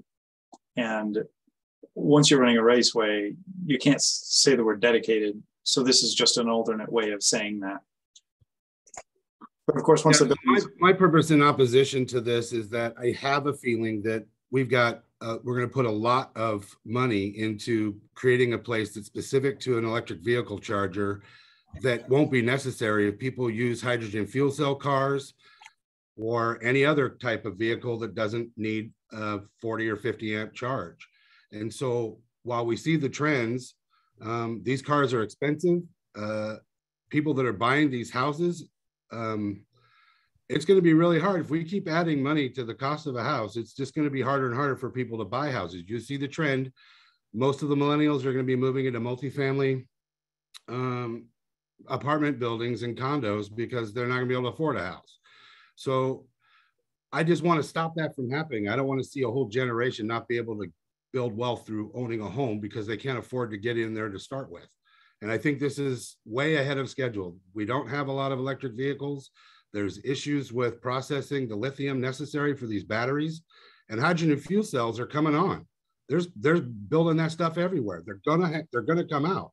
And the byproduct of using that energy source is water droplets. It is about as friendly as you can be. for the environment. So as we, if we make these processes, you're, we're, we're setting up a $10,000 bill for somebody that's not going to be using uh, the charger for that purpose. Okay, so the motion on the floor is to accept the language in blue that staff added to the uh, to the section. Uh, so if we can limit discussion to that, Micah. Um, I- would not vote in favor of accepting language in blue. I, I would honestly rather see the entire section be removed than add the exception. Uh, I don't think this gets you anything but added cost that Corey was just mentioning. Um, if you're going to have this installed, you're going to have it installed in in a in a branch circuit. Adding a raceway is is adding adding something I, I think is not necessary in the residential code. I know a lot of raceways, you know, there's different types of raceways, and I don't know what that would look like. Um, kind of mentioning Chell's item on having this a dedicated raceway, that's not necessary for raceways. They're they're usually they're oversized anyway for capacity, so you could run an additional circuit in through that raceway. So saying you can only use it for that one thing, I think would be kind of a disservice if someone did want to run an EV and a welder through that raceway. You could actually do that. Um, with certain sizes. So uh, again, I would rather see the exception or the entire section not be adopted than include the exception. Thanks. Okay, Pete. Yeah, I just wanted to comment that having worked on uh, fuel cells for my entire professional lifetime, I do not see them becoming uh, a major power source for uh, home automobiles, uh, residential automobiles. So uh, we are going to be going to electric vehicles in the very near future.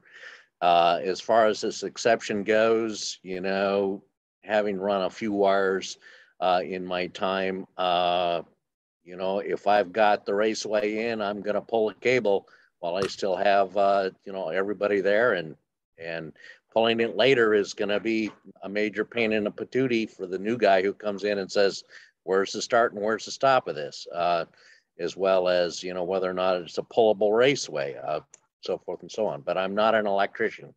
But I would say the added cost of adding the wire and pulling it uh, at the time of installation of the raceway is probably fairly negligible. It's certainly not in the tens of thousands of dollars, maybe 500 bucks or something to run 40 feet of wire. So I'll quit there. Okay, thank you, Pete. Uh, Matthew. Hi, thank you. Um, so uh, two points. Uh, I'd have to agree on the the installation costs. Uh, doing it during the the initial construction is going to be incredibly cheaper, you know, by an order of magnitude. Uh, having to go back, open up the wall again, uh, take out the drywall, you know, and pop new holes uh, for your raceway now you do need to have a raceway, but going in between the joists can also be considered a raceway. Uh, you know, running it with Romex, which I think would probably be the case that we would see uh, that in all the residential EV installations that I did, uh, it was still Romex and they were still using the wall. Uh, you know, but you could have a surface mounted raceway, which would be uh, like conduit, uh, EMT kind of piping. but absolutely, it's going to be cheaper to do it up front during the initial construction. My question still remains though, are we, when we refer to branch circuits, that's also including the conductors. So the, the copper wire themselves or the aluminum. Um, is that the intent of this language is to include the conductors? Uh, as I read it, it's not clear. I mean, that would be my assumption. Um, a, a circuit without conductors is not really a circuit. Agreed. Okay. So, and then they would be saved off in the junction box or the, or the receptacle, Correct. awaiting an EV installation. Uh, you know, having the conductors pulled uh, and waiting, you know, through the waste through the raceway into the junction box uh, is going to be important, especially for homeowner adoption. Uh, with the with the wires ran all the way to the junction box, that is an installation I think most homeowners would be capable of making um, and it would really, you know, speed up and lower the cost of EV adoption throughout the state. That's all. Thank you. Uh, Representative Ramel. Uh, thanks, Mr. Chair. Um, and, and I guess I just really want to emphasize that the purpose of the underlying amendment here um, is to make small investment um, during construction of the home so that um, the garage is ready to adopt uh, to accept an EV charger when uh, the eventual occupants of that home need one. Um, it's a small upfront cost, certainly less, uh, an order of magnitude less uh, than the tens of thousands of dollars uh, that was discussed. It's a small upfront cost, um, so that uh, a much larger cost of going back in and uh, retroactively um, installing um, that equipment to be ready for the charger um, would, would be much more expensive for those occupants down the road. The way I read this exception, um, it includes most of the cost of the upfront uh, investment, but it doesn't um, mean that that home is ready to go, uh, meaning the avoided uh, downstream costs um, are much less. So it, it, doesn't make a lot of sense to me um, in light of the um, initial purpose of the underlying amendment, and so I urge a no vote. Okay, thank you. Bob Hamlin? Yeah, I just like to say that I'm in favor of the exception that's in blue. I do not want to see uh, the um, uh, limitation of what can be used on that circuit because again, uh, somebody may have other uses for it at some other time. But as long as it's been provided um, for those individuals who have electric vehicles, they'll be able to easily put whatever brand charger they want on and then be able to use it. Thanks. Okay. Uh, okay. Uh, Stoyan? I just want to add here. I was digging into my my notes. I didn't I didn't find the minutes. I, I didn't have time to find it. But the uh, uh, conduit option, the raceway, was discussed at the technical advisory group meeting and further uh, at the BFP uh, committee meetings. And uh, it was uh, mentioned back then that it's not uh, cost effective for one and two family dwellings. I think the comments were like Romex will be uh, almost the same price or even even cheaper. So this is again, it's not a new topic that we're discussing. It was discussed before, and the technical advisory group didn't go with it. Okay, Craig. So I've heard a lot of discussion about cost, and there's misconception. I think Mr. Hepner did a very good job. Yes, this could be Romex. I was one that suggested Raceway. Uh, maybe that was the wrong word because it's an easy thing to put in, and then you can pull wire through it. It's 40 feet with a with a snake, and uh, you you got to pull your wire. But I think it could be Romex. I think the major cost is the charger, right? It is not expensive to put a Raceway or a piece of Romex 40 feet and have the junction box at the other end and uh, safe it off. And then if and when an owner decides they want to put a charger, and that's where they're going to spend some money. Now, being a commercial builder, it's very typical. For instance, we finish hospitals, they'll say, provide two chargers and rough in 10 so that when we have the money, we can come back and add those or when there's a need. I don't understand how we're assuming that the first time cost of a Romex cable or, or a conduit is so expensive. Nobody has to tear drywall. That's the reason we're putting it in. There will be no drywall removal. The charger is then surface mounted on the box.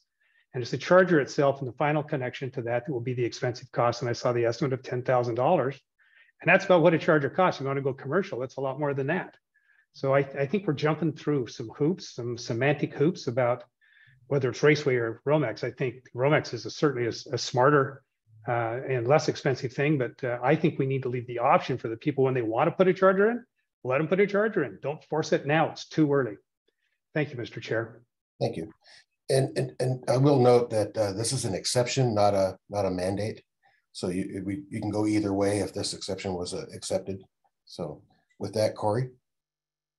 Just had uh, I wanted to clarify. Uh, it says a listed raceway capable of accommodating a branch circuit. So that to me meant that the the conduit would be empty and it's very easy to pull to a panel and and clip it to a breaker. So that part uh, there was there was some discussion that the wires would be pulled in there and 40 feet of double lot is pretty damn expensive. I just ran 50 to my hot tub and um, it was 700 bucks for 50 feet. Mm -hmm. Thank you. Craig. Just, just going back to the, all, I, I'm losing track of all the motions here, but I think there was a question and, and Corey, I'm not sure I understood your answer. But if I were to understand what we're doing, we were voting on the exception without the red letters that Chell is asked, is asked for, correct? That is correct. Okay, thank you. Chell? Yeah, just to be absolutely clear, no EV charging equipment is required in the base code or or or within the exception. Um, and then I just looked up there. Washington has eighty thousand EVs on the road right now. Um, it's accounting for about eight percent of sales as of six months ago, um, and in the third quarter there were 150 hydrogen vehicles sold across the entire United States. Okay, thank you. The amendment on the floor is to adopt the, the wording in blue, the exception to accommodate a raceway rather than doing the circuit, which is presumed to include the wire. Uh, so this has been discussed quite a bit. I think I'm going to call for a voice vote on this one. So if Krista, if you could take away that. Okay, uh, Chell, No, no. Jay Arnold, No. Todd Beyreuther, No. Micah Chappell, No. Bob Hamlin, Yes. Roger Harenga, No. Matthew Hepner, No. Craig Holt, Yes. Peter Reiki, Nay. Katie Sheehan, No. Caroline Traub, No. Corey Wilker. Yes. Motion fails nine to three Okay, or Uh, three to nine. We are then back to the original motion, which was to uh, accept, adopt, or take adoption of the 2021 IRC from the CR 102 to the CR 103. Um, Corey, your hand's still up?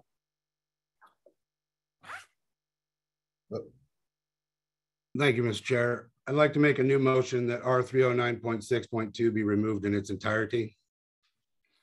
Okay, there's a motion to strike R three oh nine point six point two. Is there a second? There is. This is Craig. Okay, we've got a motion and a second. Uh, discussion, Micah.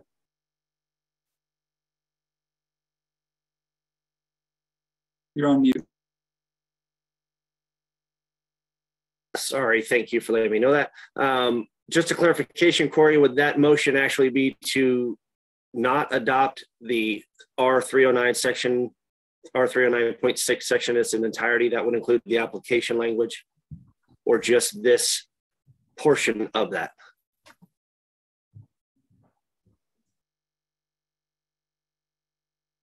Corey? I'm looking at the, I, sorry, I'm, I'm looking and I didn't, the application, there it is, sorry. Is that where it says other pen, what is that, 302 point? I don't have that application on what I. It would be three, uh, if you're, if you're looking to eliminate this whole new section for EV charging, it would be three oh nine, R three oh nine point six. Then that's what I want, that's what I want the amendment to be. Or my motion to be, excuse me. Okay. 309.6 in its entirety. Does the, does the second agree with that? I do. Thank you, Craig. Okay, discussion on removing section R three oh nine point six. Joe? I'm going to speak against the motion. Um, EVs are more prevalent. There's more and more sales every year. Um, this significantly reduces the cost of retrofitting them. I have several friends who have retrofitted it and it is not cheap at all. Um, and, you know, the, the legislature and the governor have, have suggested that these are, these are more and more part of our, our economy and um, that sales of combustion powered will end at some time in the next decade. And so more and more people will be getting um, EVs. Uh, this also doesn't apply to a lot of building types that would include the affordable end of housing. Um, so it's not cost burdening, uh, as far as I can tell, uh, the most affordable types of housing that uh, that we're building. Okay, uh, Micah? I'm neutral on the motion for this, uh, just based on the fact that the code language is, is accurate. However, it's not enforceable necessarily by code officials. It needs to be done by an electrical official. And this should go through labor and industries and be in the electrical code. I mentioned this several times over, even for the commercial code, that the, the building code and the residential code are not the place for the electrical requirements. That is either a land use driven standard or an labor and industries item that comes out of the electrical code. So, um, and then I, I really struggle with the comments that combustion engines are going away completely. Maybe it, you know, your terminology should be that fossil fuel combustion engines are going away because I agree with Corey. Hydrogen fuel is coming. Um, one of your major producers, Toyota, has created an excellent engine that there's coming out in new vehicles next year that's a hydrogen combustion engine. So saying that combustion engines will will go away entirely, I, I think is a, is a misnomer, and I and, and would like to see change of terminology there. Uh, maybe that's just fossil fuel. So uh, again, I, I'm in a I'm in the middle on this proposal, but it's based on the enforcement and proper location of electrical requirements in the code. Thanks. Thank you. Thank you. Go ahead, Jay. Thank you, Chair.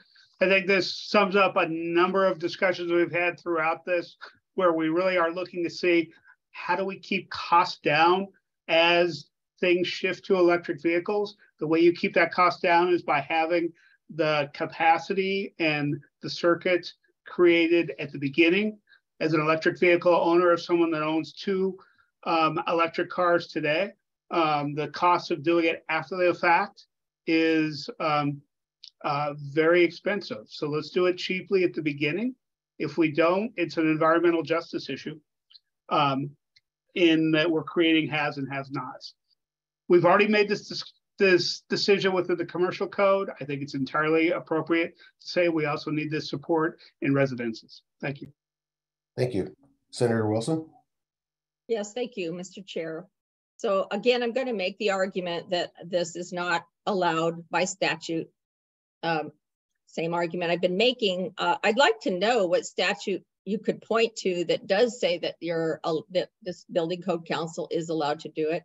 Micah made some excellent um, points here about the electrical code being updated by labor and industries and enforced by labor and industries. So I still don't know how you would have the ability to do this. Um, I, it, and again, I need to get on record that this is um, this these are to be put in charging capability of all new buildings that provide on-site parking. Where parking is provided, the greater of one parking space or 10% of parking spaces rounded to the next whole number must be provided with wiring or raceway size to accommodate your amperage. And then in B of this section, for occupancies classified as assembly, education, or mercantile, the requirements of this section apply only to employee parking spaces.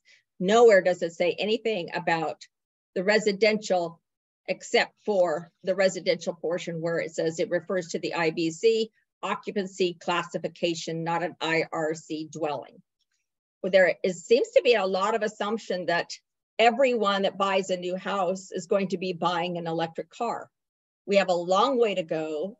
Yes, there are goals out there to do this. And yes, there's supposedly going to be a time where no no combustible engines or however you want to describe them will not be sold but there's going to be a heck of a lot of them still out there yeah because surprise a lot everybody can't afford an electric car they're expensive and then so that then the point made being it's cheaper to do it now than later. The cheaper part of this is that you're increasing the cost of the home now anyway. That's not cheaper if you're not going to put it in at all ever.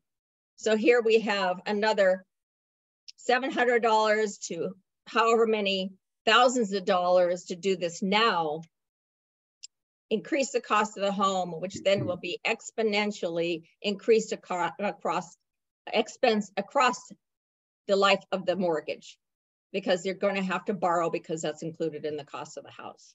So this doesn't make any sense at all, especially when there is no statute that allows this to happen. I know there's an, I'm just going to quit there. Thanks.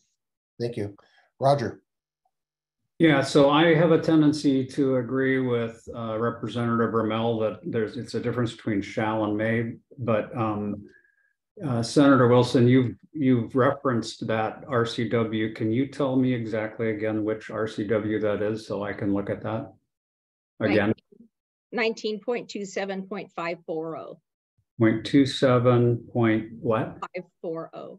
540. Thank you. I will take a look at that. Um, I um, so regarding the the question about whether this belongs in the um, the IRC, I did a real quick search of the IRC, trying to find other situations where the IRC references electrical um, information and, and um, quick search um, section 324.3 talks about photo, photovoltaic systems and inverters shall be listed and labeled according, according to UL. I'm assuming that systems connected to the utility grid shall use inverters listed for utility interaction. So I'm assuming that that is um, what interaction between the IRC and the electrical uh, requirements.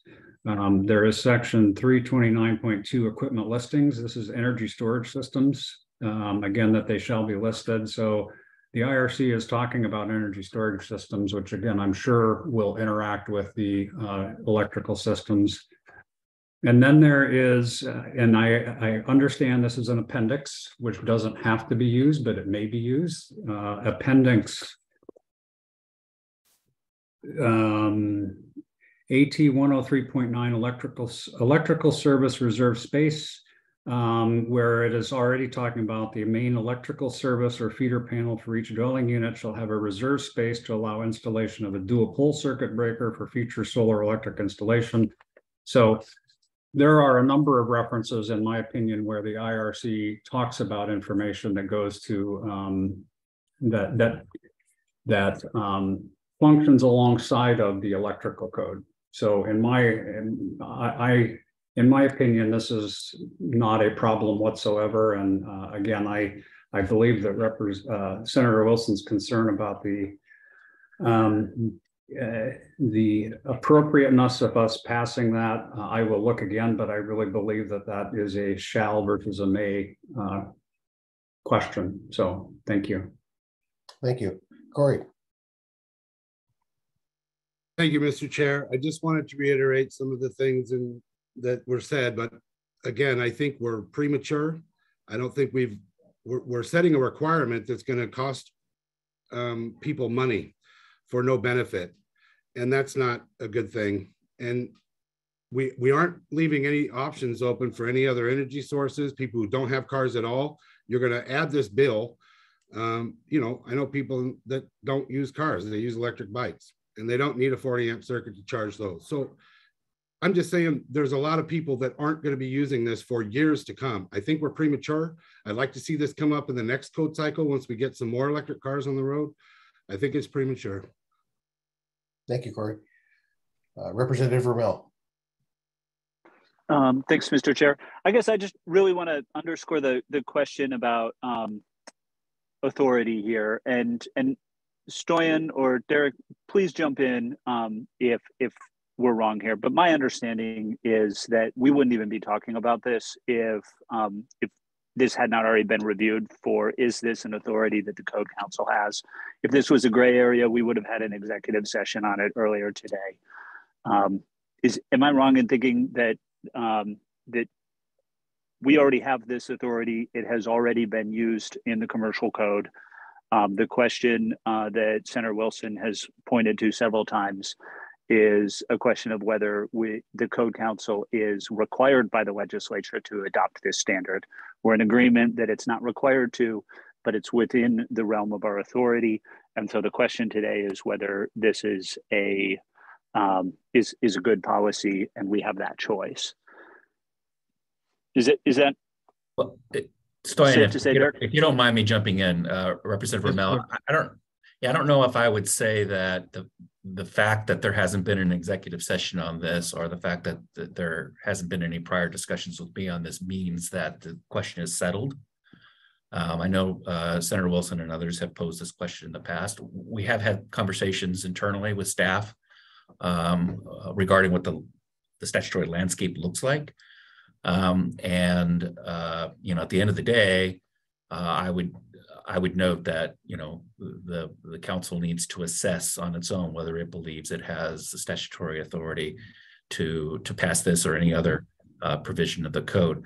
Uh, if that sounds unhelpful, I'll, I'll go a step further and say that uh, I think uh, I can offer uh, uh, to try to be a little bit helpful here. I can I can talk a little bit about the statute. Um, I, I don't have, have no interest in getting crosswise with Senator Wilson or any other member of the, the council regarding what the statute says. Um, there hasn't been any judicial interpretations of the statute or formal uh, opinions that have come out from that, that I'm aware of with regarding what the scope is. Um, all I could do is is look at the words. So so like Senator Wilson, I would read from the statute. Uh, she's pointing to, and, and others too, and I'm not meaning to, to just pick on you, Senator Wilson. Uh, others have pointed to uh, section two of RCW 1927-540, which indeed sets statutory requirements. The legislature has directed uh, the council to adopt certain requirements with respect to uh, electric vehicle charging. Um, Senator Wilson's asked, well, what other authority could would the council point to uh, for to adopt this rule? Um, I, I think proponents could point to a few other provisions, uh, namely uh, Section One of 1927-540, again the same statute uh, that we've been talking about before, which explicitly directs the Building Code Council to adopt rules for electric vehicle infrastructure requirements.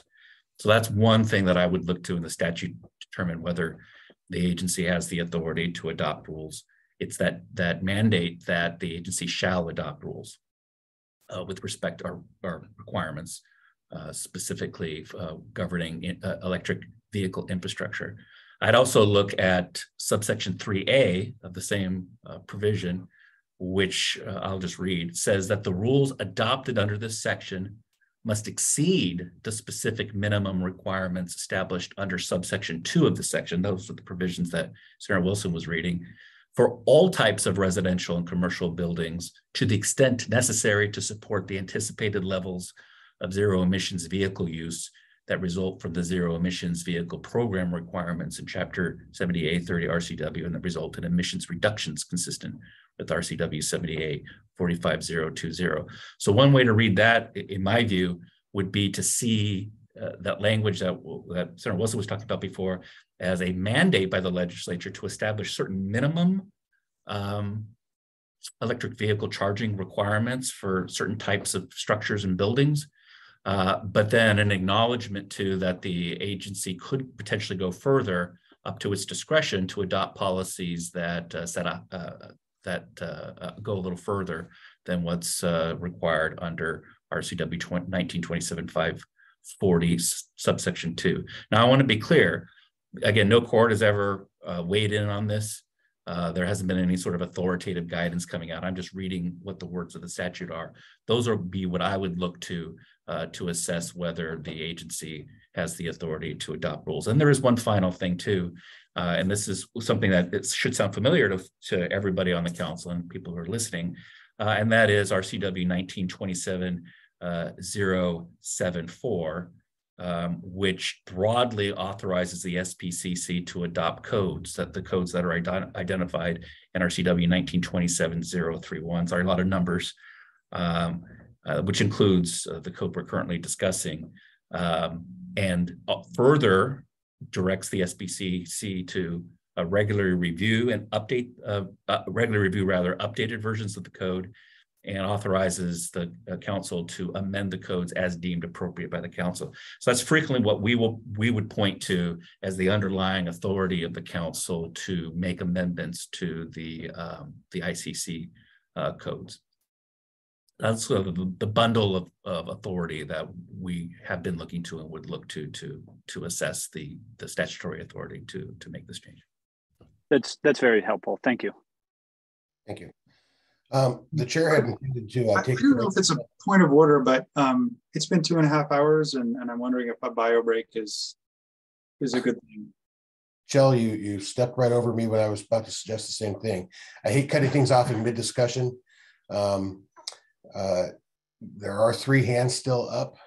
We, if the, if, if the discussions are brief, we could, and we could conclude this discussion in the next five minutes. I think that'd be great. Uh, let's, let's give that a try uh, so we can get beyond this item. Uh, if not, we'll, we'll go ahead and take a, a lunch break and come back. Micah? Um, yeah, mine will be brief, just in response to Roger and the technical accuracy of the code and why the electrical requirements should not be in here. He alluded, and we'll just bring up his example of R324.3 photovoltaic systems, PV systems. The language actually says the electrical portion of the solar PV system shall be designed and installed in accordance with NFPA 70. NFPA 70 is the National Electrical Code, which is governed and regulated and modified by labor and industries. This code section language in 309.6.2 takes away that opportunity to design it in accordance with NFPA 70, like other systems. It tells you explicitly the amperage and voltage ratings that you shall install. That's just an unusual method to have that in the residential or building codes. Thanks. Thank you. Katie? Yeah, just to weigh in, um, I am really convinced by the small investments in infrastructures argument. I mean, I live in a house that's um, 100 years old, and actually, it's the house that I grew up in. So I've lived there for a long time, and it uh, never was intended to carry the loads that it has now, and the cost to retrofit it. And I do. I also have a. I have a hybrid electric plug-in which I love. And um, the cost to retrofit it was very expensive. And I would note that, you know, we took advantage of some of the um, incentive programs to do that. And that wasn't all paid by me. So, you know, it, we're going to pay for this no matter what. We're going to electricity. And I mean, I don't know what it is about welders. Um, I was talking about this with my husband. He said the same thing. Well, maybe you could hook up a welder to it. So um, that's uh you know we're going to electricity. We're using more electricity. You know i don't see the point in building homes that are hopefully going to be around 100 years from now that need more electricity. We know it's coming. So uh, to me it's irresponsible to not think about you know what what we're going to need in the future especially when we know it. It's not 10 years from now. Um so that's what I wanted to say. Thanks. Thank you, Katie. Senator Wilson. Sure. Uh, I just wanted to point to my letter again one more time where it talks about the residential R3 refers to an IBC occupancy classification, not an IRC dwelling. It goes directly to the International Building Code Chapter 3 occupancy classification and use. And then so if you if you go back to that, the argument here is that you're trying to do this residentially when there isn't an authority to do it residentially. Yeah, I, I realize you're going down to exceeding the specific minimum requirements established under this subsection, but if you're not including residential properly, then they're not counting. So there, I, there you go. I guess that's what we'll see down the line when somebody's not happy with this and they go further. So that's all I have. Thanks. Thank you. Seeing no more further hands raised, uh, the motion on the table is to strike section R three oh nine point six. Uh, can we take a roll call?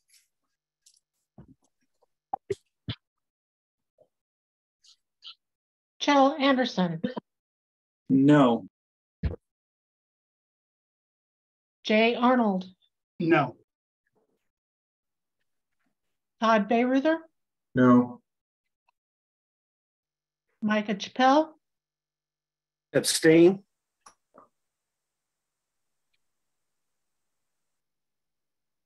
Bob Hamlin, No, Roger Haringa, No. Matthew Hepner, No, Craig Holt, Yes. Pete Reiki, No,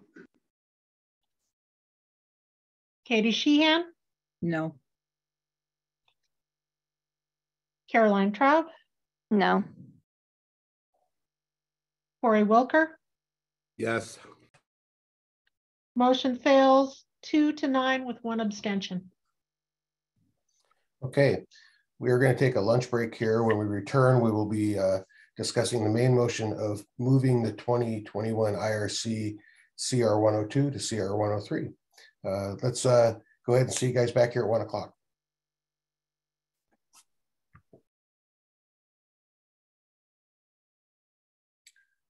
Okay, welcome back, everybody.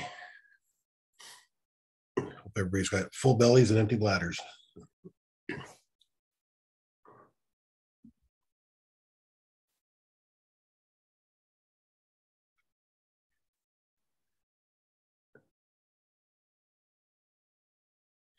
Stoyan, is staff back and ready to go? Uh, give me a second.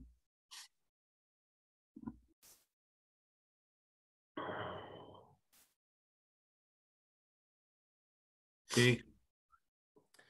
We're back Okay. in the game. All right, I believe the motion on the table was uh, to move the two thousand twenty-one IRC as amended from CR one oh two to CR one oh three. Todd's got his hand up. Todd, go ahead. Uh, thank you, Chair. So um, I have a potential another amendment staying in this section. And I'll kind of present it as a whereas. So, you know, whereas R three oh nine is for garages and carports. Uh, we just dealt with three oh nine point six point two, the dedicated circuit. Going before that, the R three oh nine point six point one application, which is part of the CR one oh two. Um, I question whether the words attached need to be in front of private garages and private carports. Uh, so I'd like to uh, make a motion to strike private in front of garages and private, in, I'm sorry, attached in front of private garages and attached in front of private carports. I don't think I said that correctly, but the motion is to strike attached. Okay, is there a second to the motion?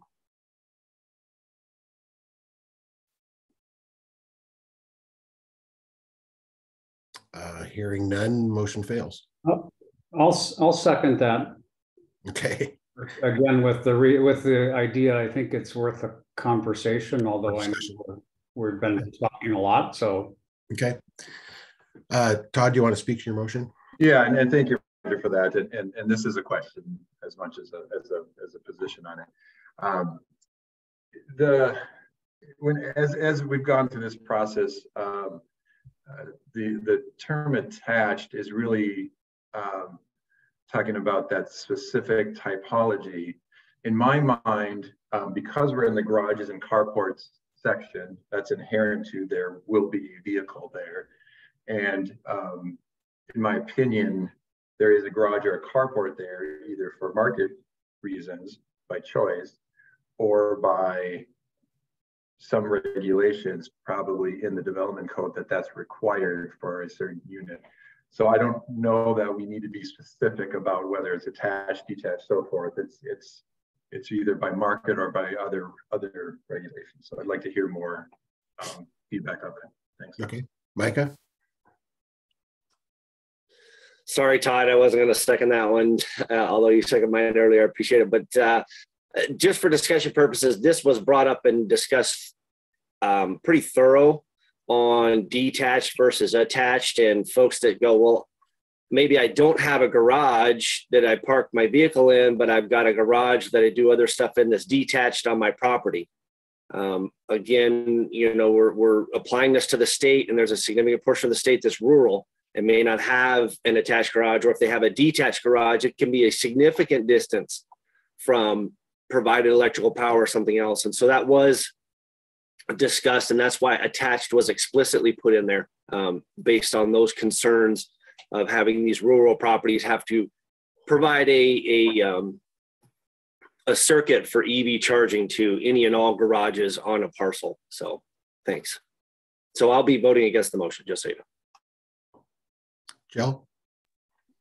I, I don't think it's a bad idea, but I just, I just haven't had time to, to think about it and we need to be very, very thoughtful and deliberate. And, um, so I'm, I'm against the motion simply because it's, it's, it's new and, and kind of could be very different than, than what's actually in, in the language that, that we've considered before.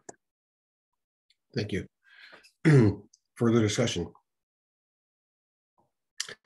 Seeing none, uh, all in favor of the amendment? Aye. Aye. Opposed? Nay. Nay. Nay. The the- the nays have it.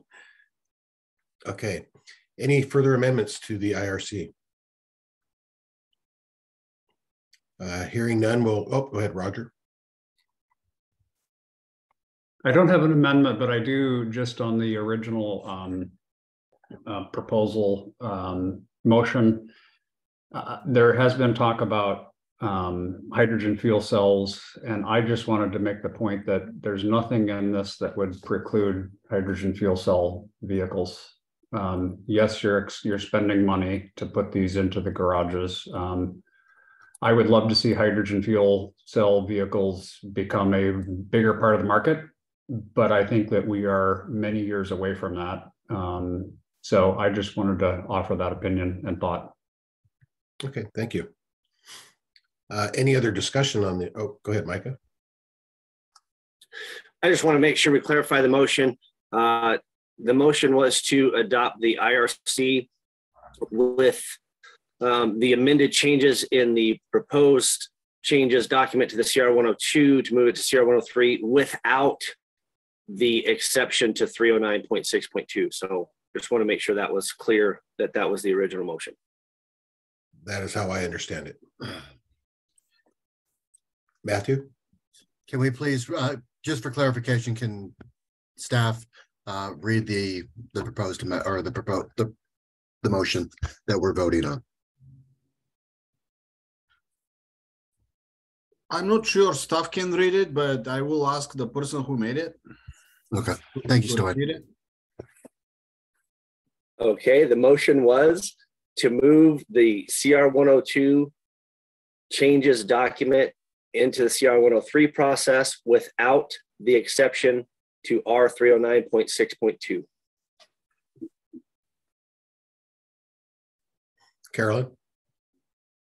Yeah, um, question just on the, looking at all of these potential changes that are in here. Can we scroll down to the mechanical ventilation section?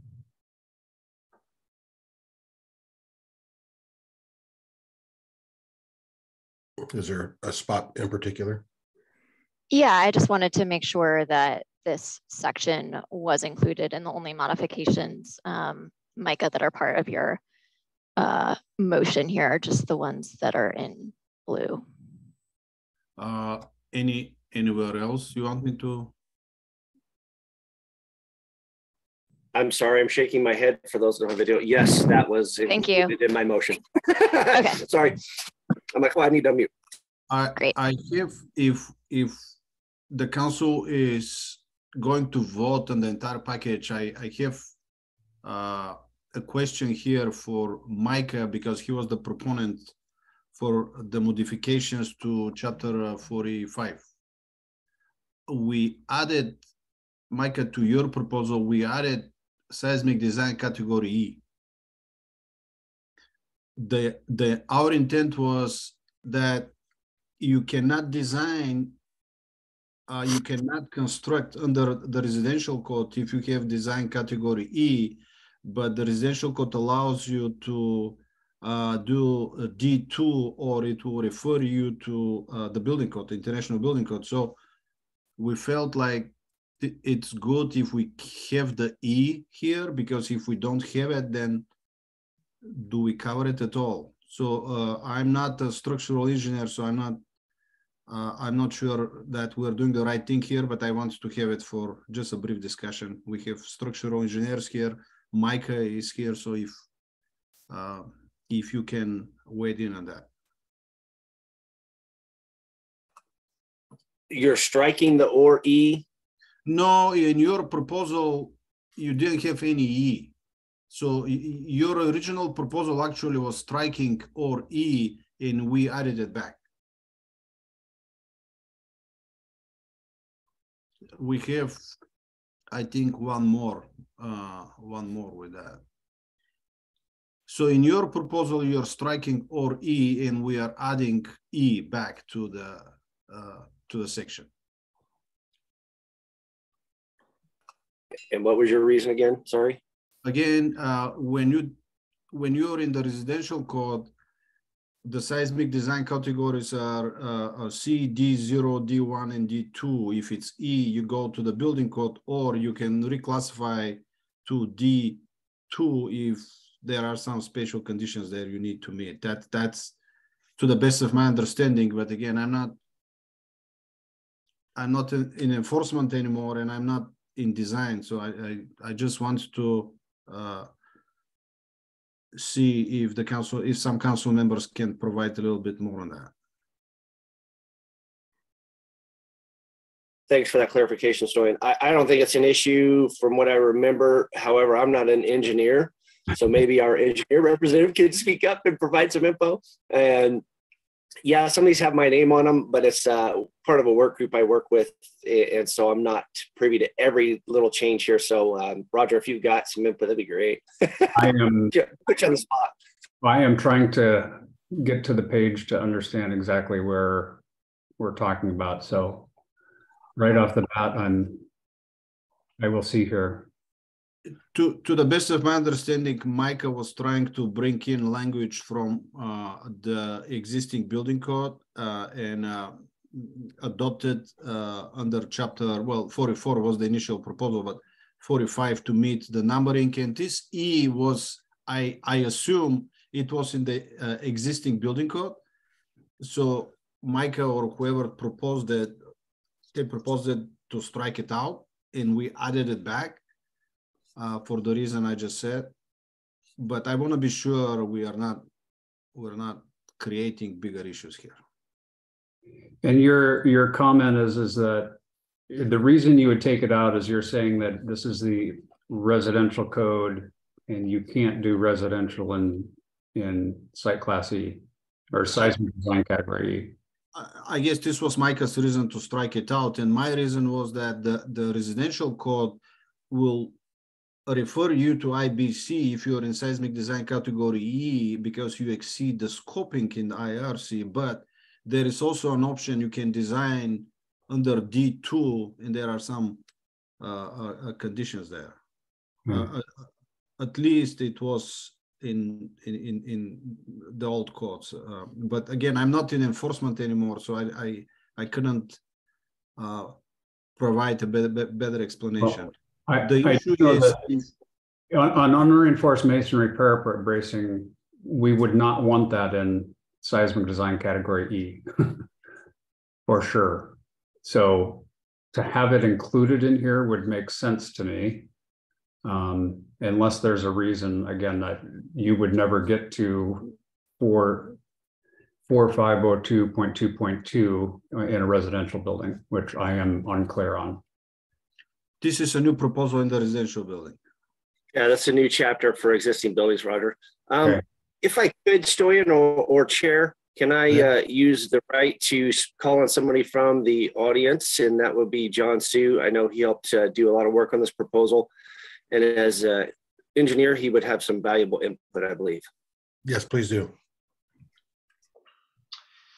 Uh, okay, yeah, this is John Sue. Um, yeah, we I was part of the committee that worked on this, and unfortunately, off the top of my head, I can't answer directly. But uh, my recollection is there was a deliberate reason we did not include E, um, and I'd have to go back and try to figure that out, and that would take more time than we have here to to do that. But I, I, I believe it was there again. There was a deliberate reason we did not include it. And I think we might have talked about it at the tag even briefly. I think someone asked that question at the tag. And again, I, I think we we justified it there, but I don't remember. Okay, uh, Roger? Um, my, my suggestion is, is again, uh, it, if we're, if we have an unreinforced masonry parapet in, um, seismic design category E, it should be braced. So if there is confusion and we're not sure exactly, I would suggest leaving it in. Um,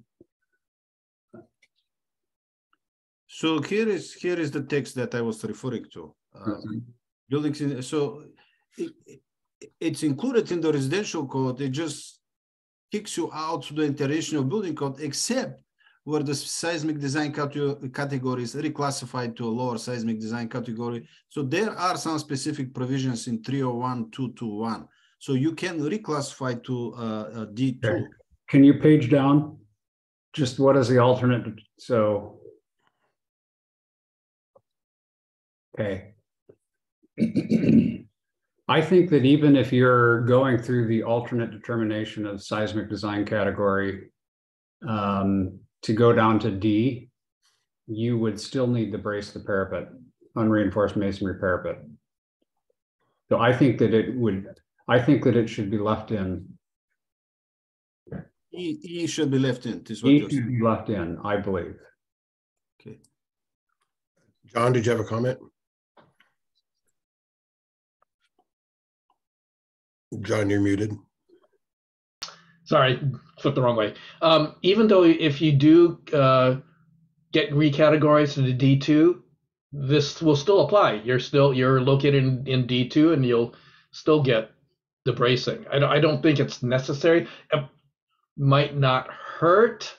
I'm just con- to, I think we might have been concerned that if you start saying E, that this is all you have to do, and really the idea is to kick you all the way back to the, the building code.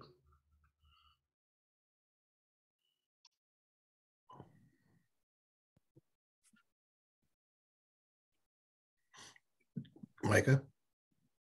Thanks. Uh, so yeah, I'm going to agree with John. I don't think it's necessary to have in there. And the other section of the code, I think we're going to capture it. Even though I, I didn't have as much input on this, uh, that makes the most sense as far as from technical language and enforcement. Okay, uh, I presume that the, that the IBC does require parapet bracing. Roger, go ahead. Yeah, it does. And I, and I guess with that, John's explanation, I guess I could agree with that. But I'm also reading down in four five oh four point four point two point five, the seismic load increases.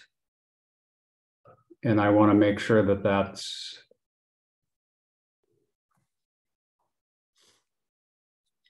it's probably the same discussion. It would be down, it's down a couple pages on the document. Uh, the code or the document? The, the, no, it's on the document that, the change document that you have. Yeah, that document. Wh- wh- You What have it- You have it highlighted again. Okay, Um, now I lost it. Seismic load increases. Forty-five oh four point four point two point five. Right Yes, there. Seismic load should be considered to be increased refers to this section. Um. So that, that's the same point. If you're, same argument, if you're E, you get kicked into the IBC where you could get down to a D two. But then you would be covered by this particular. So I think that you could get rid of E in both of those cases. You want to make that a motion? Sure, I would make a motion that you delete E. You, you don't have to. Oh, You don't, you don't have to make a motion. The, the proposed adding back in of E was not part of my motion. That was a point that Stoyan was making as part of staff input. okay, But if we disagree with that staff input, we don't have to make an additional motion. We just go back to my original motion. Sorry, Roger, to cut you off. that's fine. No, thank you for catching that. Okay, any, any further discussion on the IRC? Uh, hearing none, let's, uh, uh, I'll call the question. All in favor, say aye. Aye. Aye. Aye. Aye. Any opposed? Nay. Okay, the ayes have it. Uh, we will move on to the UPC twenty twenty-one. Corey, Thank you, Mr. Chair. Uh, I was chair of the tag for the UPC and for proper discussion, I'd like to make a motion to remove section nine thirteen from the changes from UPC CR one oh two. I'll second that. This is Micah. Micah, do you want to just remove? Well, I guess we have to go through the process now. It's no longer a proposal, yeah? Yes. Uh, no, well, I, I have it I have it in the documents that I posted because we were expecting there will be a discussion on that. So it it's shown on the screen in the way it was uh, uh filed with the CR102.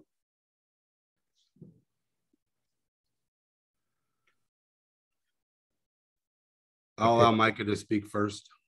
okay, so to be clear, is this, is this motion uh to approve the document with the exception of uh section nine thirteen? Is that correct? I was just gonna have the proper discussion and get it removed before we move to accept the UPC. Okay, so this is just, just a, a motion then to remove section nine thirteen. Yes, sir. Okay, Micah, go ahead. Uh, I know we had good debate on this, and the plumbers associations are the ones that, uh, you know, they put this stuff in. They really don't want it as a technical code language that the code official can use. And so I think that gives the code officials direction. Again, this was not a something the code officials felt they have to have. Um, it does provide technical guidance, but the plumbing association and, and the folks that Corey represents obviously are speaking out heavily against this. And so, I mean, there, there's no reason to have something in there that they don't want to use or don't feel is necessary. So uh, we're going to go with um, how they want to proceed for the final vote. Thanks. Okay, Corey, Please allow Roger to speak. okay, Roger, Uh, yeah, I, I support taking this out, and my primary reason is that if the tag voted unanimously to not include this, um, you know, it's one thing if it was a close vote, but if it's a unanimous vote, it seems to me that we need to really uh, honor the opinion of the tag. I am curious, I guess I would like to hear from Corey, uh, the, the one comment that is very um, powerful for me is that if I I forget the number, but a whole, most of the United States does allow these currently. And I'm, and, you know, I'm curious as to why the state of Washington is, I mean, I've heard why they're bad, but why is the rest of the United States, um, you know, I guess trying to align those, why is the, why is it okay in the rest of the United States? But that's my question to Corey. Corey, go ahead.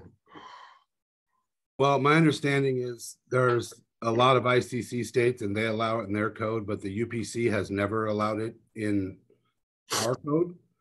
And the plumbing code in Washington state is UPC. And no AAV is fully listed for use within the, within the UPC because the devices don't meet the intent of the code. They can't be tested. They violate other sections. There's seven sections of section nine that they're in violation of. And the main issue is um, even when they're operating as intended, they allow trap seals. They can't, they can't push air both ways. The way a vent, a waste and vent system works is it allows free flow of air. For instance, if you've got a uh, mechanical pump, if you have a, a sewage ejector in your basement and you shove, when it goes off, it shoves a slug of of effluent up into the waste line. And when that happens, there's a massive charge of air that runs through the system. And if there's not proper venting, passive venting that allows flow of air both ways, you push the trap seals out. And when the trap seal gets pushed out, it allows those sewer gases, harmful um, sewer gases and pathogens to enter a home or business. And we know this to be true. We fix them, we change them all the time. And when we're talking about the devices, they're mechanical, so we know they fail. Okay. Those are the reasons I know of. That, that's fine. And again, I'm, I'm supportive. Let's, ta- in my opinion, we should take it out. I just wanted to hear that again and make sure I understood. Well, since Micah understands where the plumbers are at, I'm not going to belabor the point. Uh, I'll call the question. Okay, question's been called. Any, any objections to calling the question? Uh, Mr. Chair, we have another one that was added at the last moment. Corey, uh, Corey, uh, found it and he submitted his request. So it's a editorial. Point point of order, my, my proposal right now is just to remove that section. I'll go over the other. Okay, changes. I apologize, I apologize, okay. Okay, uh, hearing no further discussion, uh, all in favor of removing section nine thirteen? Say, Sigmund. This is Tilly Roberts. Aye. Aye. Aye. Any opposed? Okay, motion carries. Uh, Corey, you've got the floor. Thank you, Mr. Chair. Um, part of the TAG, the TAG is comprised of building officials and engineers and resident code geeks. And one of them reached out to me Wednesday um, and or Tuesday and let me know that there's a section, he's got it up on there now. So where it's it's directing you, it's it's regarding the insulation for water pipes in a building. And the section and tables they referenced um, were incorrect. Those those sections don't exist in the code, but the ones that were put in here do, and they're the right section to refer to. Okay, is that, is that a motion to amend? And I don't know if we need to motion to amend or not. It's uh, it's just a, a housekeeping to make sure that the right section and the right tables are referenced for those um, requirements. Okay, Chell? Yeah, in my opinion, the, a good motion right now would be to move the entire UPC forward into the CR one oh three, and this is for somebody else because this is not my specialty. Um, but including the updates here and excluding uh nine thirteen. Or nine thirty. Second Chell's motion. It's not a motion, I'm not a. Sure, you're- you're- Somebody else. Then I would make a motion to move the entire uh, UPTC, UPC CR one oh two, including the changes from the UPCC, the changes that are included and not um, removed. If I'd said that correctly. I think, I think your intent is understood. Is there a second to the motion? I'll second it. Second. Craig. Okay, thank you, Craig. Any further discussion? All in favor, signify by, by saying aye. Aye. Aye. Aye. Aye. Aye. Opposed? Motion carries. Uh, the last bullet point in item six is adoption of the two thousand twenty-one W, WUIC. Micah? Thank you, Chair Doyle. All right, folks. Hopefully this is the last one of the day and I will keep it short. I would like to make a motion to move the Wildland Urban Interface Code change document from the CR 102 to the 103.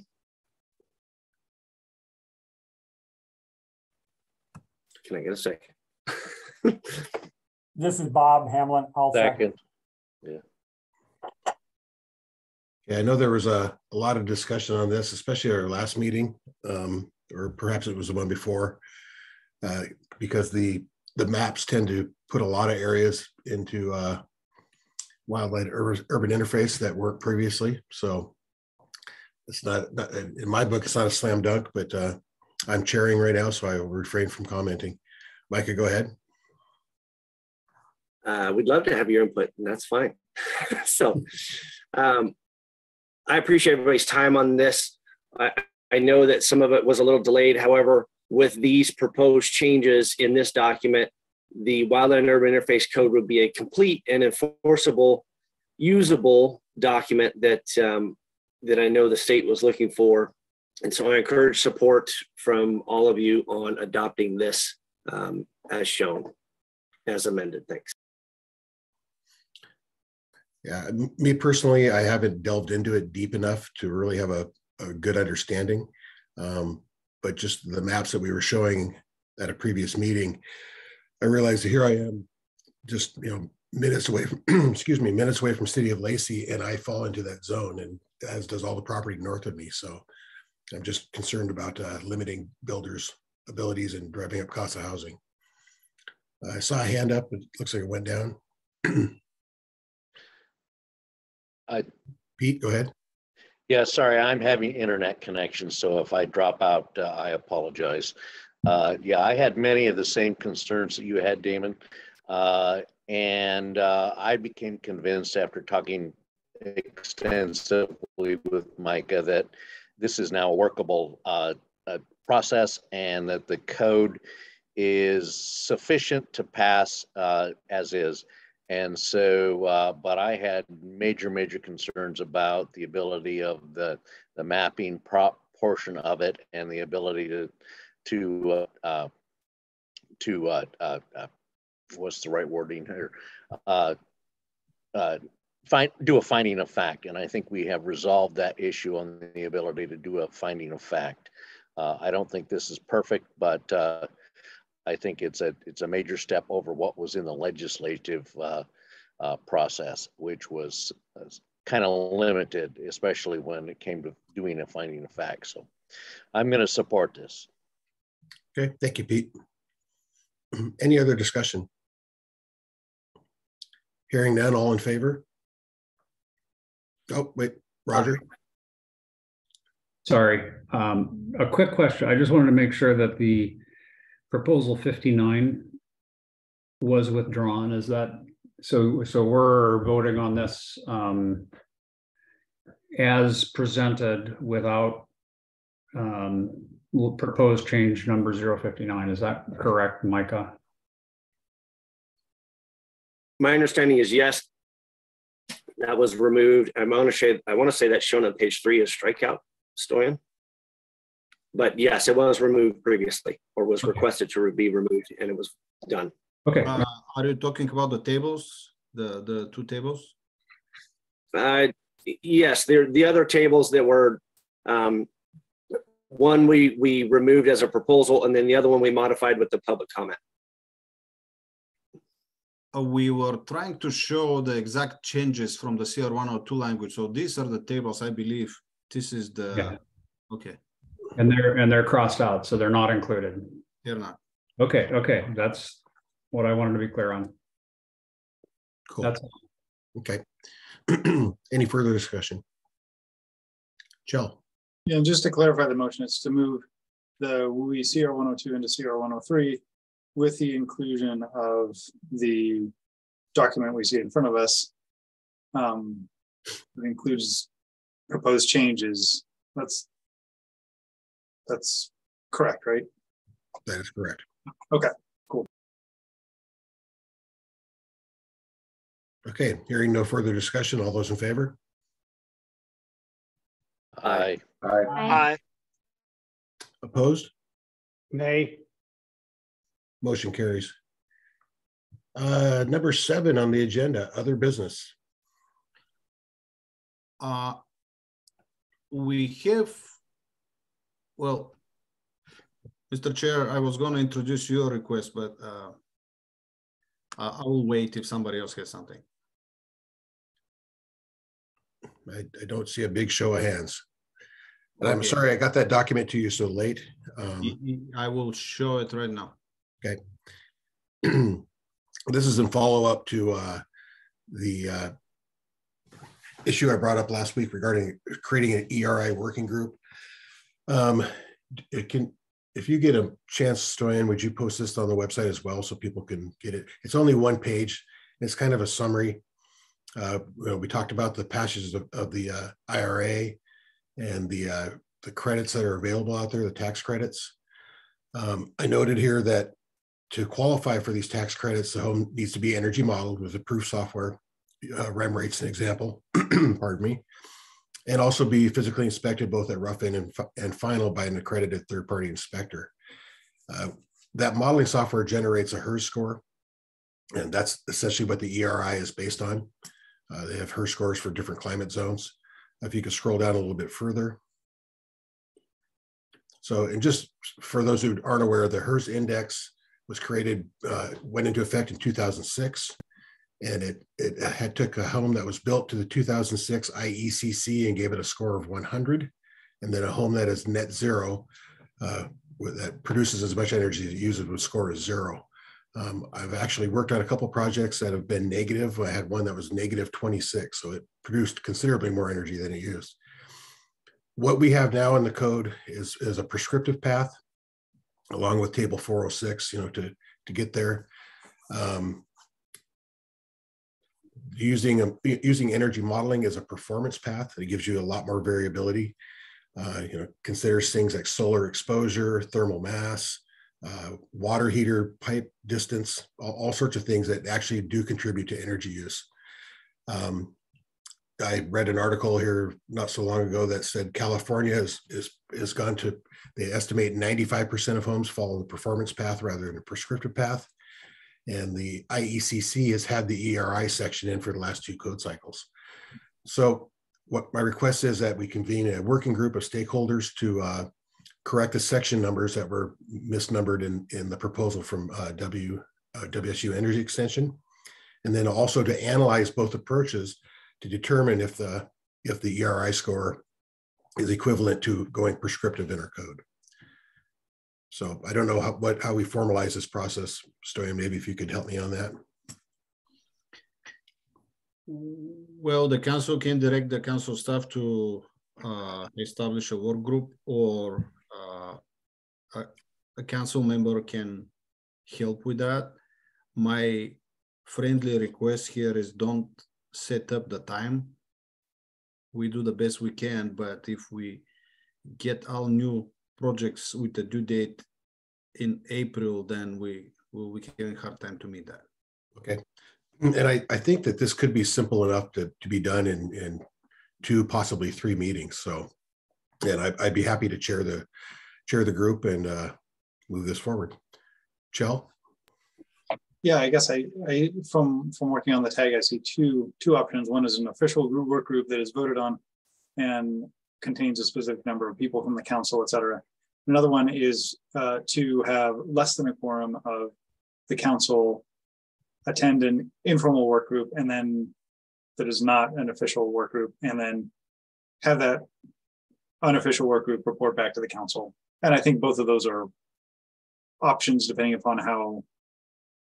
If it's, I think if it's an official council work group, there's a lot more staff time and a lot more, like probably recording it and, and making more official uh, things about it that that may not be necessary. Um, whereas if it's an informal one, I think you could simply convene relevant stakeholders uh, without all the infrastructure um, and I think as long as it's presented back to the, the full council, um, I think both would would be decent options in my mind. Okay, and I think the latter is is probably the better way to go. There, uh, there's people out there like Dave Baylon and uh, Mike Lubliner, uh, uh, Jonathan Jones, that uh, are not council members that have invaluable uh, experience and knowledge of this subject. So I think it'd be critical to have people like that on board. Yeah, just to be clear, I didn't say that it couldn't be involved if it was an official council work group. I was just saying that there's just a level of infrastructure, council staff infrastructure that goes along with an official work group that doesn't go along with an unofficial work group. That that was the only comment. Okay. so, Stoyan, do we need a motion for this, or can we just go ahead and convene an uh, unofficial work group? I don't think I need a motion to understand what you need. Okay. Perfect.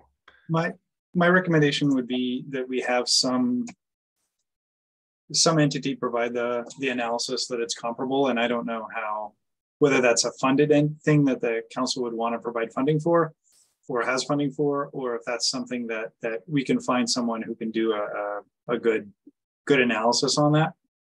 Um, that's just a question, I guess. Stoyan, do you have thoughts on that? Uh, well, and Krista is here. She can correct me if I'm wrong because she she is the main person for the energy code. But uh, how I was thinking about this was just to start and get on the same page first and see what what we can do uh, and how, and then move forward if we need funding. And because uh, I'm not a technical expert on the energy code, so I don't know how we will go with this. Uh, Krista, are you here? I am Any- here. Any, Um, any ideas you you may have? one of the things I was thinking, which isn't really going to happen on any kind of fast track, is that as part of the adoption of the 2021 codes, we're having that analysis of what the ERI for the 2021 code would be. Which, but then again, like I said, that one is going to take a few months to develop. Is, is this something that, is this something that PNNL is working on right now? Right. Let's, Or let's, something that can be easily converted to an ERI.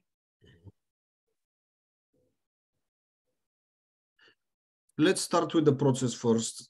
And, and then, uh, again, we, we, we have a meeting in, in January and then we can, if, if, if we need the council to get involved and vote on something, but Krista and I and, and, and Damon and, you know, whoever wants, we can, we can start, uh, uh, uh, with the brainstorming sessions and then outline what, what we need to do and some kind of a time frame. Okay, no, that works for me. And- My, and my, then- my hope, my hope is that we could do this process and then uh, go into um, off-cycle rulemaking so that we might be able to get it in by the July one. That, that might be optimistic, but that would be my, my, my hope.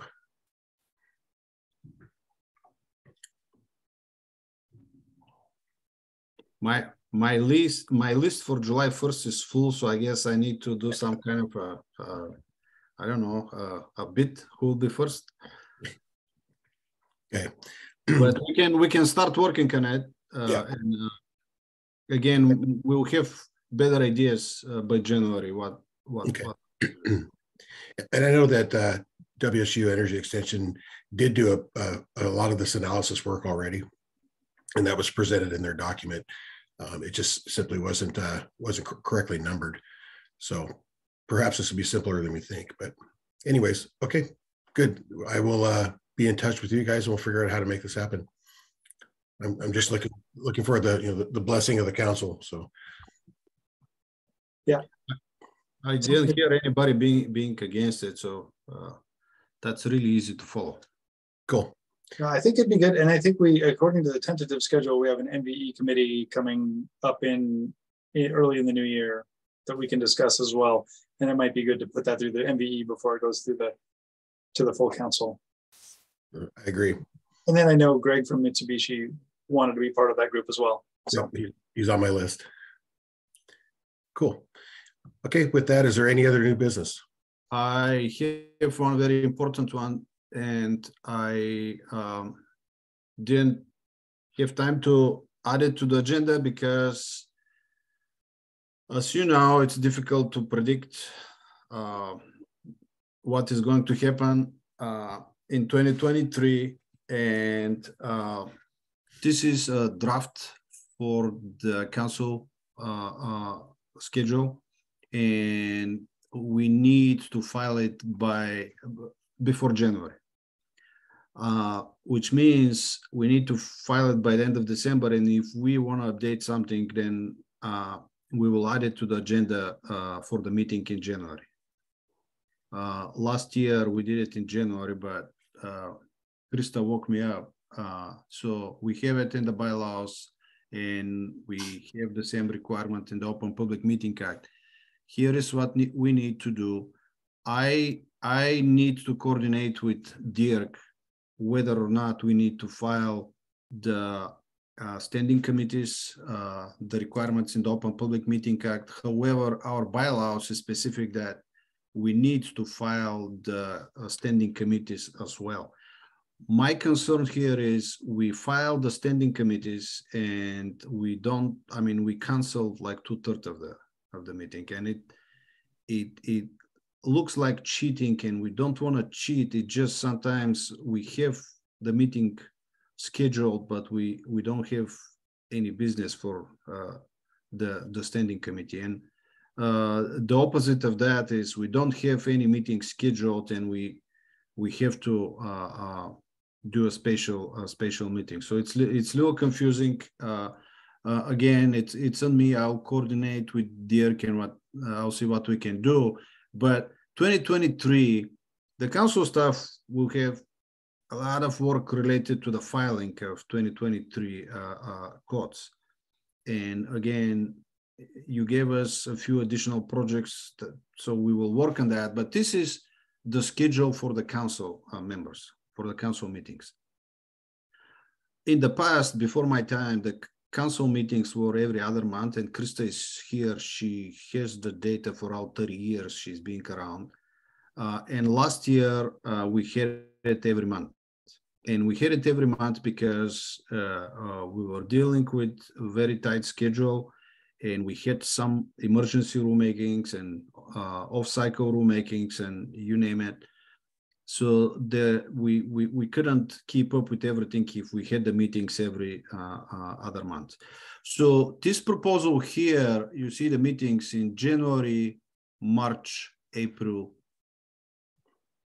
and May, and then we have a break June, July, and August, and you're going back to business in September with meetings in September, October, and November.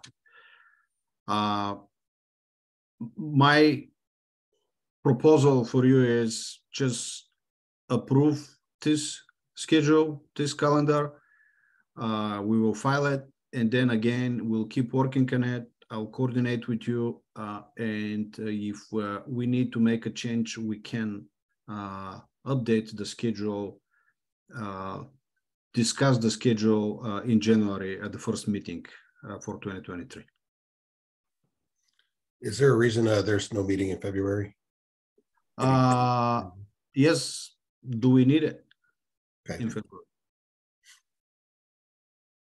February will be a busy month again for the council staff. Uh, and uh, if we need to schedule uh, a council meeting for something that comes up, uh, we will we will do it. Uh, March and April we have meetings because we have the legislation going on, uh, so we want to be sure we can cover everything that comes out of the legislative session. Okay, Corey. Stoyan, do you need a motion to accept a preliminary schedule? Is that what you need? It doesn't hurt accept the schedule, and if there's changes, we'll change it at council meetings. Uh, I prefer to have a motion, but uh, I don't think I don't think it's needed.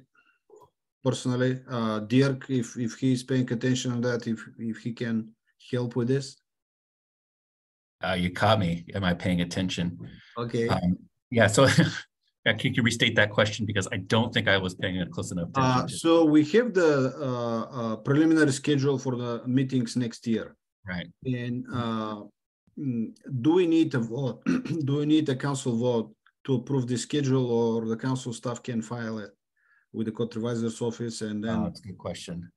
Uh, we when we are modifying where we are modifying the schedule, we don't ask for uh, the council vote. Uh, right. The, because sometimes we just don't have the council meeting and we need to uh, modify the schedule. So I don't think it's necessary as a personal opinion, but at the same time, it's not wrong if we have a vote. So uh, my understanding, I, have never advised specifically on that question before. I don't think there's any harm in taking a vote. Uh, certainly, uh, I, I, don't believe the OPMA, the Meeting Act, specifically requires the agency to take a formal vote to establish its its schedule. Okay. Joe? I'll make a motion to approve the preliminary schedule. Okay. I'll second. Okay, thank you. Any discussion? All in favor? Aye. Aye. Uh, Any, any opposed? Okay, schedule looks good. Thank you. And the last thing that I'm sure I don't need to vote for that, but uh, I'm planning to start working on the bylaws and some policies and procedures, trying to make the process uh, uh, easier and more efficient. And, and I haven't started yet because we have other stuff to uh, deal with. But uh, I wanna sometimes in, I don't know, in January maybe, I wanna involve a few council members. Uh, and I will also coordinate with Dirk on that one because it's kind of legal stuff, but uh, if we can uh, get together and and have a one or few a few brainstorming sessions how we can make the process easier and more efficient. So uh, don't get surprised if you get email from me sometimes in december or january. Okay. Joe? Would this include things like whether we provide insert pages and, and code books and stuff like that, or is that outside of the purview of that discussion? Well, the insert pages in the code books, the code books is uh, uh to me it's it's it's a little bit more complicated. First, uh, staffing issues. Second, do we do we or can we adopt uh, can we work at the same time on the WAC and uh, uh, code publishing? And the third one is that I need more time to research this, but uh, if, uh, well, I don't want to make legal comments because I'm not an attorney, but there are some legal complications with that. So I'm not prepared to discuss this right now, but I will, I will uh, have more information. Uh, the question was more about, we've talked a couple times in a couple different venues about how the council functions and including providing such support uh, or such services to the public. Um, we've also talked about, you know, maybe more modeling assistance for the energy codes so that we have more information available earlier in the process and things like that. And I'm, its question is not about whether that's a good idea or not. The question is about scope. Would the bylaws group that you're convening be more of a, a group that would talk about those things? Or is the bylaws group more of a narrow focus on the rules that we have? I don't want to rewrite the bylaws, and I, I can't do it alone. And and what I was asking was, I will need I will need uh, more more heads than mine. You know, I I I can't do this alone. So uh,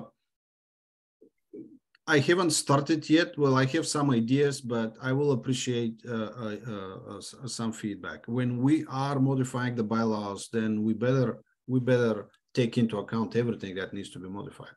The same with the uh, uh, policies and procedures in uh, WAC 5104.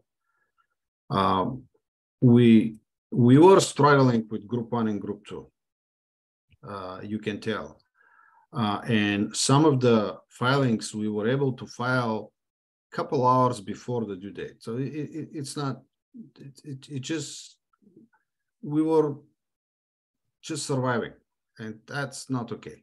Uh, so we need to figure out something how we can we can do it better. Uh, the technical advisory groups. Uh, I mean, everybody is complaining about the energy code, but technical advisory group uh, for the energy code works. Uh, but we had some technical advisory group meetings with uh, uh, TAG members voting on something, and, and it was passing through by three votes. That, that that's not okay. So you know the, there are many things that we need to take into account, and I want to start working on it and I want to have something that we will start with, to start the conversation because it's easier to have something in front of you versus just, you know, flying around and uh, uh, uh changing the topic. So I'll put something together and then uh, I would like to get your opinion and some feedback. I want to do it with the council members. I don't want to do it alone. Okay, sounds good. Any other new business? Corey. Thank you, Mr. Chair. I put in um application to do a second term. and I don't know if I'll be accepted. If there's probably a better applicant that's less argumentative.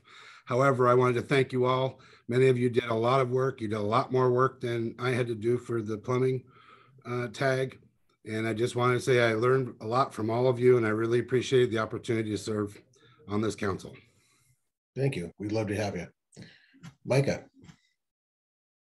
I'll kind of say the same thing. Um, I've not reapplied. I think I'll, my term runs through 2024, but I appreciate everybody's work and and dealing with my argumentative nature sometimes. And so, Corey, I, I enjoyed arguing with you. Um, I think we're all here to do the best job possible and provide the best code possible for the folks we represent. So, thanks for all the work, and we will see you all next year.